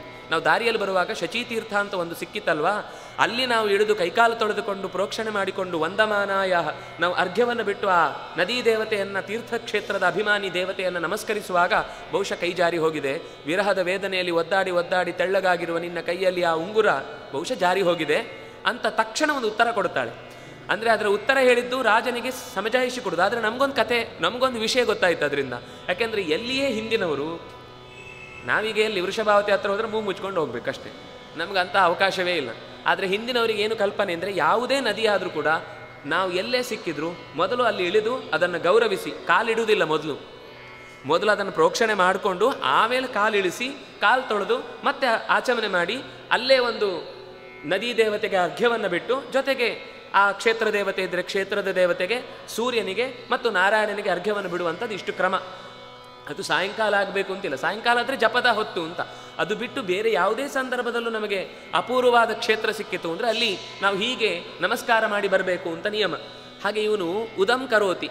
ಎಲ್ಲಿ ನೀರು ಸಿಕ್ಕಿದ್ರು ಅಲ್ಲಿ ನಮಸ್ಕಾರ ಮಾಡ್ತಾ ಇದ್ದ. ಅಂದರೆ ಎಲ್ಲ ಕ್ಷೇತ್ರಗಳಲ್ಲೂ ಭಗವಂತನ ರೂಪವನ್ನು ಕಾಣುವ ತಾಕತ್ತಿದ್ದವ ಅಂತ ಅರ್ಥ. ಮುಂದೆ ತೀರ್ಥಕ್ಷೇತ್ರದ ದಾರಿಯಲ್ಲಿ ಹೋಗ್ತಾ ಇದ್ದ ಅನ್ನುವ ಕಥೆಯೆಲ್ಲ ಮುಂದೆ ಬರುತ್ತೆ. ಒಟ್ಟಂತೂ ಈ ಉದಂಕ, ಆದರೆ ತಂದೆ ತಾಯಿ ಹೆಸರಿಡುವಾಗ ಅವನಿಗೆ ಆ- ಆ ಯೋಚನೆ ಇತ್ತೋ ಅಥವಾ ಅದರ ಆ ಗುಣವನ್ನು ಅವನು ಪಡ್ಕೊಂಡು ಗೊತ್ತಿಲ್ಲ. ತಂದೆ ತಾಯಿಗಳ ಶಕ್ತಿಯ ಬಲದಿಂದ ಅವನಿಗೆ ಆ ಹೆಸರು ಬಂದದ್ದು ಅನುಕೂಲ ಆಗಿ ಹೋಯಿತು. ಅವನೇನು ಮಾಡಿದ? ಗುರುಗಳ ಹತ್ರ ಅಭ್ಯಾಸ ಮಾಡ್ತಾ ಇದ್ದ. ಒಂದು ದಿವಸ ಬೈದ ಋಷಿ, ಎಲ್ಲೋ ಒಂದು ಕಡೆ ಬೇರೆ ರಾಜನ ಹತ್ತಿರಕ್ಕೆ ಅದು ವಶ ಕತೆ ಬಂದದ್ದು ನಿಮಗೆ ಹಿಂದಿನ ಕತೆ ಗೊತ್ತಿದ್ರೆ ಇಲ್ಲಿ ನೆನಪಿರುತ್ತೆ. ಪೌಷ್ಯ ಮತ್ತು ಜನಮೇಜಯ ಇಬ್ಬರು ಬೈದ ಋಷಿಗಳ ಹತ್ತಿರಕ್ಕೆ ಬಂದು, ನಮಗೆ ನೀವು ಯಜ್ಞ ಮಾಡಿಕೊಡ್ಲಿಕ್ಕೆ ಸಹಾಯ ಮಾಡಬೇಕು ಅಂತ ಕೇಳಲಿಕ್ಕೆ ಬರ್ತಾರೆ. ಹಾಗೆ ಸಹಾಯಕ್ಕೆ ಅಂತ ಕೇಳಲಿಕ್ಕೆ ಬಂದವರು ಬಹುಶಃ ಈ ಕಾಲದಲ್ಲಿ ಅವನು ಯಾವುದೋ ರಾಜನ ಹತ್ರ ಹೋದ ಅಂತ ಅಷ್ಟೇ ಹೇಳ್ತಾರೆ ಹೊರತು ಏನು ಅಂತ ಹೇಳುವುದಿಲ್ಲ ಒಟ್ಟಂತೂ ಅವನು ಬೇರೆ ರಾಜ್ಯಕ್ಕೆ ಹೋಗಿದ್ದಾನೆ. ಆಗ ಈ ಉತ್ತಂಕನಿಗೆ ಹೇಳ್ತಾರೆ, ನೋಡಪ್ಪ, ಗುರುಗಳ ಪ್ರತಿನಿಧಿಯಾಗಿ ನೀನು ಶಿಷ್ಯರಿಗೆ ಆಗಬೇಕಾದ ಪಾಠವನ್ನೆಲ್ಲ ಯಥಾಪ್ರಕಾರ ಮುಂದುವರೆಸು. ಜೊತೆಗೆ ಈ ಗುರುಕುಲದಲ್ಲಿ ಏನು ನಿತ್ಯ ಕರ್ಮ ಆಗಬೇಕೋ ಅದನ್ನೆಲ್ಲ ನೀನು ನೋಡ್ಕೊಳ್ಬೇಕು ಅಂತ ಹೇಳಿ ಹೊರಟು ಹೋಗ್ತಾರೆ. ಹೀಗೆ ಹೊರಟು ಹೋದ ಬಳಿಕ ಶಿಷ್ಯ ಯಥಾ ಪ್ರಕಾರ ಅಗ್ನಿ ಸಂರಕ್ಷಣೆ ಮಾಡ್ತಾ ಇರ್ತಾನೆ. ಹಸುಗಳಿಗೆ ಬೇಕಾದ ಮೇವು ಕೊಡುವುದು, ಅದಕ್ಕೆ ಶಿಷ್ಯರು ಏನು ಮಾಡಬೇಕು ಅದನ್ನೆಲ್ಲ ಯಥಾ ಪ್ರಕಾರ ಮ್ಯಾನೇಜ್ ಮಾಡ್ತಾ ಇರ್ತಾನೆ. ಎಲ್ಲ ಆಗ್ತಾ ಇರುತ್ತೆ. ಅದರ ಮಧ್ಯದಲ್ಲಿ ಒಂದು ಸರ್ತಿ ಏನಾಗುತ್ತೆ ಅಂದರೆ ಬೈದನ ಹೆಂಡತಿಯ ದಾಸಿಯರು ಬಂದು ಆ, ಉತ್ತಂಕನ ಹತ್ರ ಹೇಳ್ತಾರೆ. ನೋಡಪ್ಪ, ನೀನು ಗುರುಗಳಿಗೆ ಪ್ರತಿನಿಧಿ ಅಲ್ವಾ? ಈಗ ಗುರುವಿನ ಹೆಂಡತಿಯ ಋತುಕಾಲ ಬಂದಿದೆ. ಋತುಕಾಲ ಬಂದಾಗ ಅದನ್ನು ವ್ಯರ್ಥ ಮಾಡಬಾರ್ದು. ಹಾಗಾಗಿ ನೀನು ಆ ಗುರುವಿನ ಹೆಂಡತಿಯನ್ನು ಸಂತೋಷಪಡಿಸಬೇಕು ಅಂತ ಆ ದಾಸಿಯರು ಬಂದು ಹೇಳ್ತಾರೆ. ಉತ್ತಂಕ ಹೇಳ್ತಾನೆ, ಪ್ರತಿನಿಧಿ ಯಾವಾಗಲೂ ಪ್ರತಿನಿಧಿ ಆಗ್ತಾನೆ ಹೊರತು ಅದೇ ವಸ್ತು ಆಗ್ಲಿಕ್ಕೆ ಸಾಧ್ಯವೇ ಇಲ್ಲ. ಅದರಿಂದಾಗಿ ನಾನು ಗುರು ವೈಯಕ್ತಿಕವಾಗ ಮಾಡುವ ಕರ್ತವ್ಯಗಳನ್ನೆಲ್ಲ ಮಾಡಬೇಕು ಅಂತ ಹೇಳಿದ್ದಲ್ಲ ಗುರು ಇಲ್ಲದೆ ಹೋದರೆ ಏನು ಅನರ್ಥ ಆಗ್ಬೋದೋ ಅಂಥದ್ದನ್ನು ಮಾತ್ರ ಶಿಷ್ಯನಾಗಿ ನಾನು ಪ್ರತಿನಿಧಿಯಾಗಿ ಮಾಡ್ಬೋದು ಹೊರತು ಇದನ್ನೆಲ್ಲ ಮಾಡ್ಲಿಕ್ಕೆ ಸಾಧ್ಯ ಇಲ್ಲ ಅಂತ ಗಂಭೀರವಾಗಿ ಹೇಳಿದಾಗ, ಸ್ವಲ್ಪವೂ ವಿಚಲಿತನಾಗದೆ ಹೇಳಿದಾಗ ದಾಸಿಯರು ಸಂತೋಷಪಟ್ಟು ಅಲ್ಲಿಂದ ಏನು ಮಾತಾಡದೆ ಹೊರಟು ಹೋಗ್ತಾರೆ. ಗುರುಗಳು ಬಂದಾಗ ಈ ಸುದ್ದಿ ಬರುತ್ತೆ ಗುರುಗಳ ಹತ್ತಿರ. ಹೀಗೆ ನಾವು ಅವನನ್ನು ಪ್ರೇರೇಪಿಸಿದ್ವಿ, ಆದರೂ ಅವನು ಅದರಲ್ಲಿ ಸ್ವಲ್ಪವೂ ವಿಚಲಿತನಾಗದೆ ತನ್ನ ಕರ್ತವ್ಯ ಬಿಟ್ಟು ಬೇರೆದರ ಬಗ್ಗೆ ಯೋಚಿಸಲಿಲ್ಲ, ತುಂಬ ಚೆನ್ನಾಗಿ ಕಾರ್ಯನಿರ್ವಹಿಸಿದ್ದಾನೆ ಅಂತ. ಗುರುಗಳಿಗೆ ಬಹಳ ಸಂತೋಷ ಆಗುತ್ತೆ. ಆಯಿತು, ನನಗೆ ನಿಜವಾಗಿ ಒಬ್ಬ ಶಿಷ್ಯ ಸಿಕ್ಕಿದ ಅಂತ ಸಂತೋಷ ಆಯಿತು. ನೀನು ಇನ್ನು ಮುಂದೆ ಹೊರಡಬಹುದು ಅಂತ ಅವನಿಗೆ ಸ್ನಾತಕೋತ್ತರ ಪದವಿಯನ್ನು ನೀಡಿ, ನೀನು ಯಥಾ ಪ್ರಕಾರ ನಿನ್ನ ಕಾರ್ಯವನ್ನು ಮುಂದೆ ನೀನು ಗೃಹಸ್ಥಾಶ್ರಮ ತಗೊಳ್ಳಿಕ್ಕೆ ಏನು ಅಪೇಕ್ಷೆ ಇದೆಯೋ ಅದನ್ನು ಮುಂದುವರಿಸಬಹುದು ಅಂತ. ಆದರೆ ಅವನು ಗುರುಗಳ ಹತ್ರ ಹೇಳ್ತಾನೆ, ಇಲ್ಲ, ನೀವು ತೋರಿಸಿದ ಪ್ರೀತಿಯನ್ನು ಇನ್ಯಾವ ಗುರುಕುಲದಲ್ಲೂ ಬಹುಶಃ ಗೊತ್ತಿಲ್ಲ ನನಗೆ. ಆದರೆ ನೀವು ತಂದೆಯೂ ಆಗಿ, ತಾಯಿಯೂ ಆಗಿ, ಬಂಧುಗಳೂ ಆಗಿ, ಸ್ನೇಹಿತನೂ ಆಗಿ ಪ್ರತಿಯೊಂದರಲ್ಲೂ ನನಗೆ ಮಿತ್ರ ಅಂತನ್ನುವ ಸ್ಥಿತಿ ಬಂದಾಗ ಆ ಮಿತ್ರ ಮಿತ್ರತ್ವದ ಗುಣವನ್ನು ನನ್ನಲ್ಲಿ ತೋರಿಸಿ ಹೆಗಲ ಮೇಲೆ ಕೈ ಇಟ್ಟು ಮಾತಾಡಿಸಿದ್ದೀರಿ. ನಮಸ್ಕಾರ ಮಾಡಿದಾಗ ತಲೆ ಮೇಲೆ ಕೈ ಇಟ್ಟು ಉಪದೇಶ ಮಾಡಿದ್ದೀರಿ. ಇಂತಹ ಗುರುಗಳು ನನಗೆ ಸಿಗಲಿಕ್ಕೆ ಸಾಧ್ಯ ಇಲ್ಲ. ಈ ಸುಖ ನಮಗೆ ಸಿಗುವುದು ಬಹಳ ಕಷ್ಟ. ಆದರೆ ಪುಣ್ಯಕ್ಕೆ ನಮಗೆ ಸ್ವಲ್ಪ ಸಿಕ್ಕಿದೆ. ನಮ್ಮ ಗುರುಗಳಿಂದಾಗಿ. ವಿಶ್ವೇಶತೀರ್ಥ ಗುರುಗಳ ಜೊತೆಗೆ ಈ ಮಾತುಗಳು ಓದುವಾಗ ಆ ಸುಖ ಏನು ಅಂತ ಗೊತ್ತಾಗಬೇಕಾದ್ರೆ ಅವರ ಜೊತೆಗೇ ಹಗಲೂ ರಾತ್ರಿ ಇದ್ದು ನಾವು ಅಕಸ್ಮಾತ್ ಏನಾದರೂ ಒಂದು ಅವರು ಪಾಠ ಮಾಡಿದ್ದನ್ನು ಮರುದಿವಸ ಒಪ್ಪಿಸಿದ ಮೇಲೆ ಹೊಸ ಪಾಠ ಮಾಡುವರು ಅವರು. ಹಳೆ ಪಾಠವನ್ನು ಒಪ್ಪಿಸದೇ ಹೊಸ ಪಾಠ ಮಾಡ್ತಿರ್ಲಿಲ್ಲ.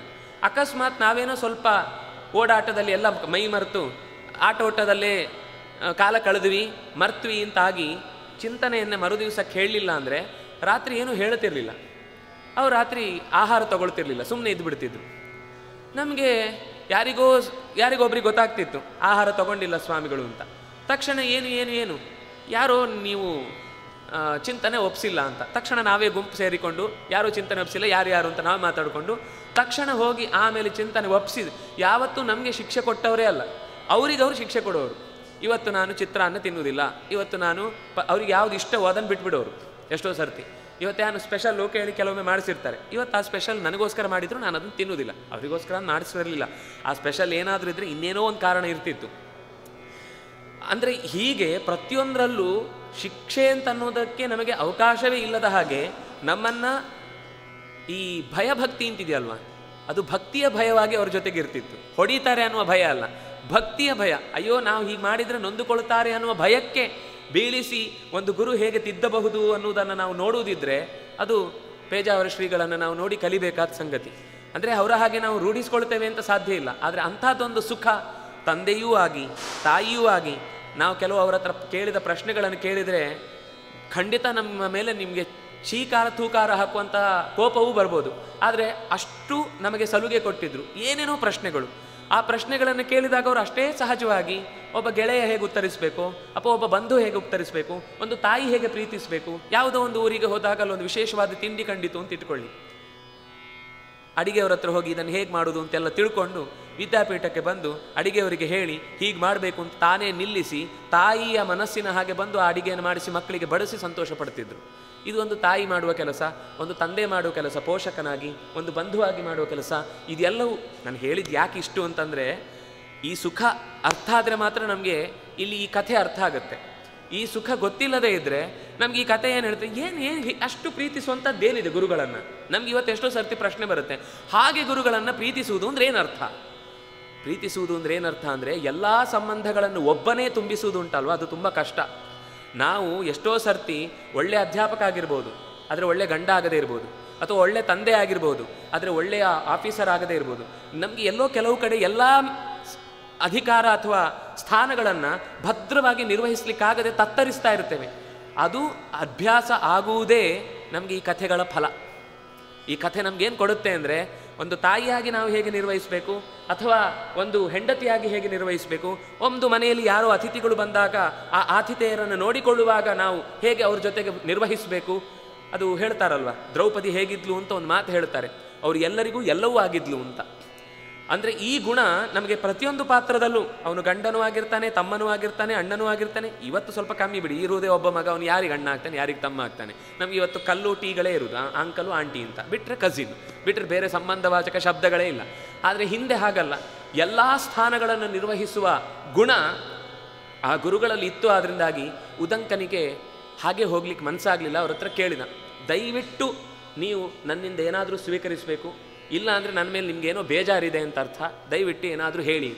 ಆದರೆ ಗುರುಗಳು ಹೇಳ್ತಾರೆ, ಇಲ್ಲಪ್ಪ, ನೀನು ಗುರುಗಳ ಸ್ಥಾನವನ್ನು ಪೂರೈಸಬೇಕು ಅಂತ ಹೇಳಿದಾಗಲೂ ನೀನು ಕೇವಲ ಪ್ರತಿನಿಧಿ ಅಂತ ತೋರಿಸಿಕೊಟ್ಟ ನಿನ್ನ ಈ ಶುದ್ಧ ನಿಷ್ಠೆ ಏನಿದೆ, ಶೀಲತೆ ಏನಿದೆ, ಶುದ್ಧ ಶೀಲತೆ, ಇದೇ ನನಗೆ ನೀನು ಗುರುದಕ್ಷಿಣೆ ಕೊಟ್ಟ ಹಾಗೆ ಇದಕ್ಕಿಂತ ಬೇರೇನೂ ನಾನು ಅಪೇಕ್ಷಿಸುವುದಿಲ್ಲಪ್ಪ ಅಂತ ಶಿಷ್ಯನನ್ನು ಬಹಳ ಪ್ರೀತಿಯಿಂದ ಕಳುಹಿಸಿಕೊಡ್ತಾನೆ.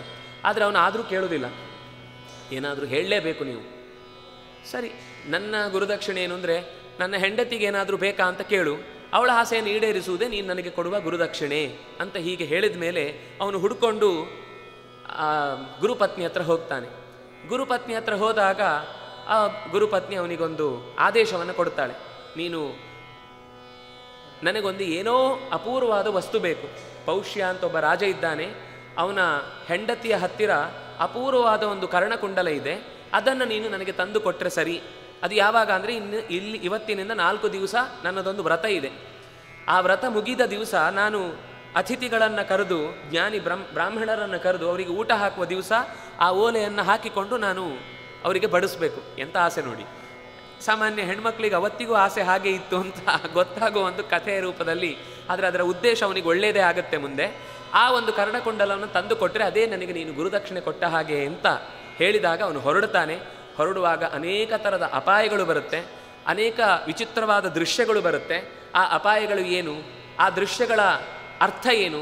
ಅದನ್ನು ಗುರುಗಳು ಹೇಳಿ ಅವನಿಗೆ ಇನ್ನೂ ಅನೇಕ ಮಾತುಗಳನ್ನು ಹೇಳುತ್ತಾರೆ. ಅದನ್ನು ಮತ್ತೆ ನಾಳೆ ದಿವಸ ಸೇರಿದಾಗ ನೋಡೋಣ ಅಂತ ಹೇಳ್ತಾ, ಕಾಯೇನ ವಾಚ ಮನಸ ಇಂದ್ರಿಯೈರ್ವ ಬುದ್ಧಿಯ ಆತ್ಮನಾವ ಅನುಸೃತ ಸ್ವಭಾವ ಕರೋಮಿ ಯದ್ಯತ್ ಸಕಲಂ ಪರಸ್ಮೈ ನಾರಾಯಣಾಯೇತಿ ಸಮರ್ಪಯಾಮಿ. ಕೃಷ್ಣಾರ್ಪಣಮಸ್ತು.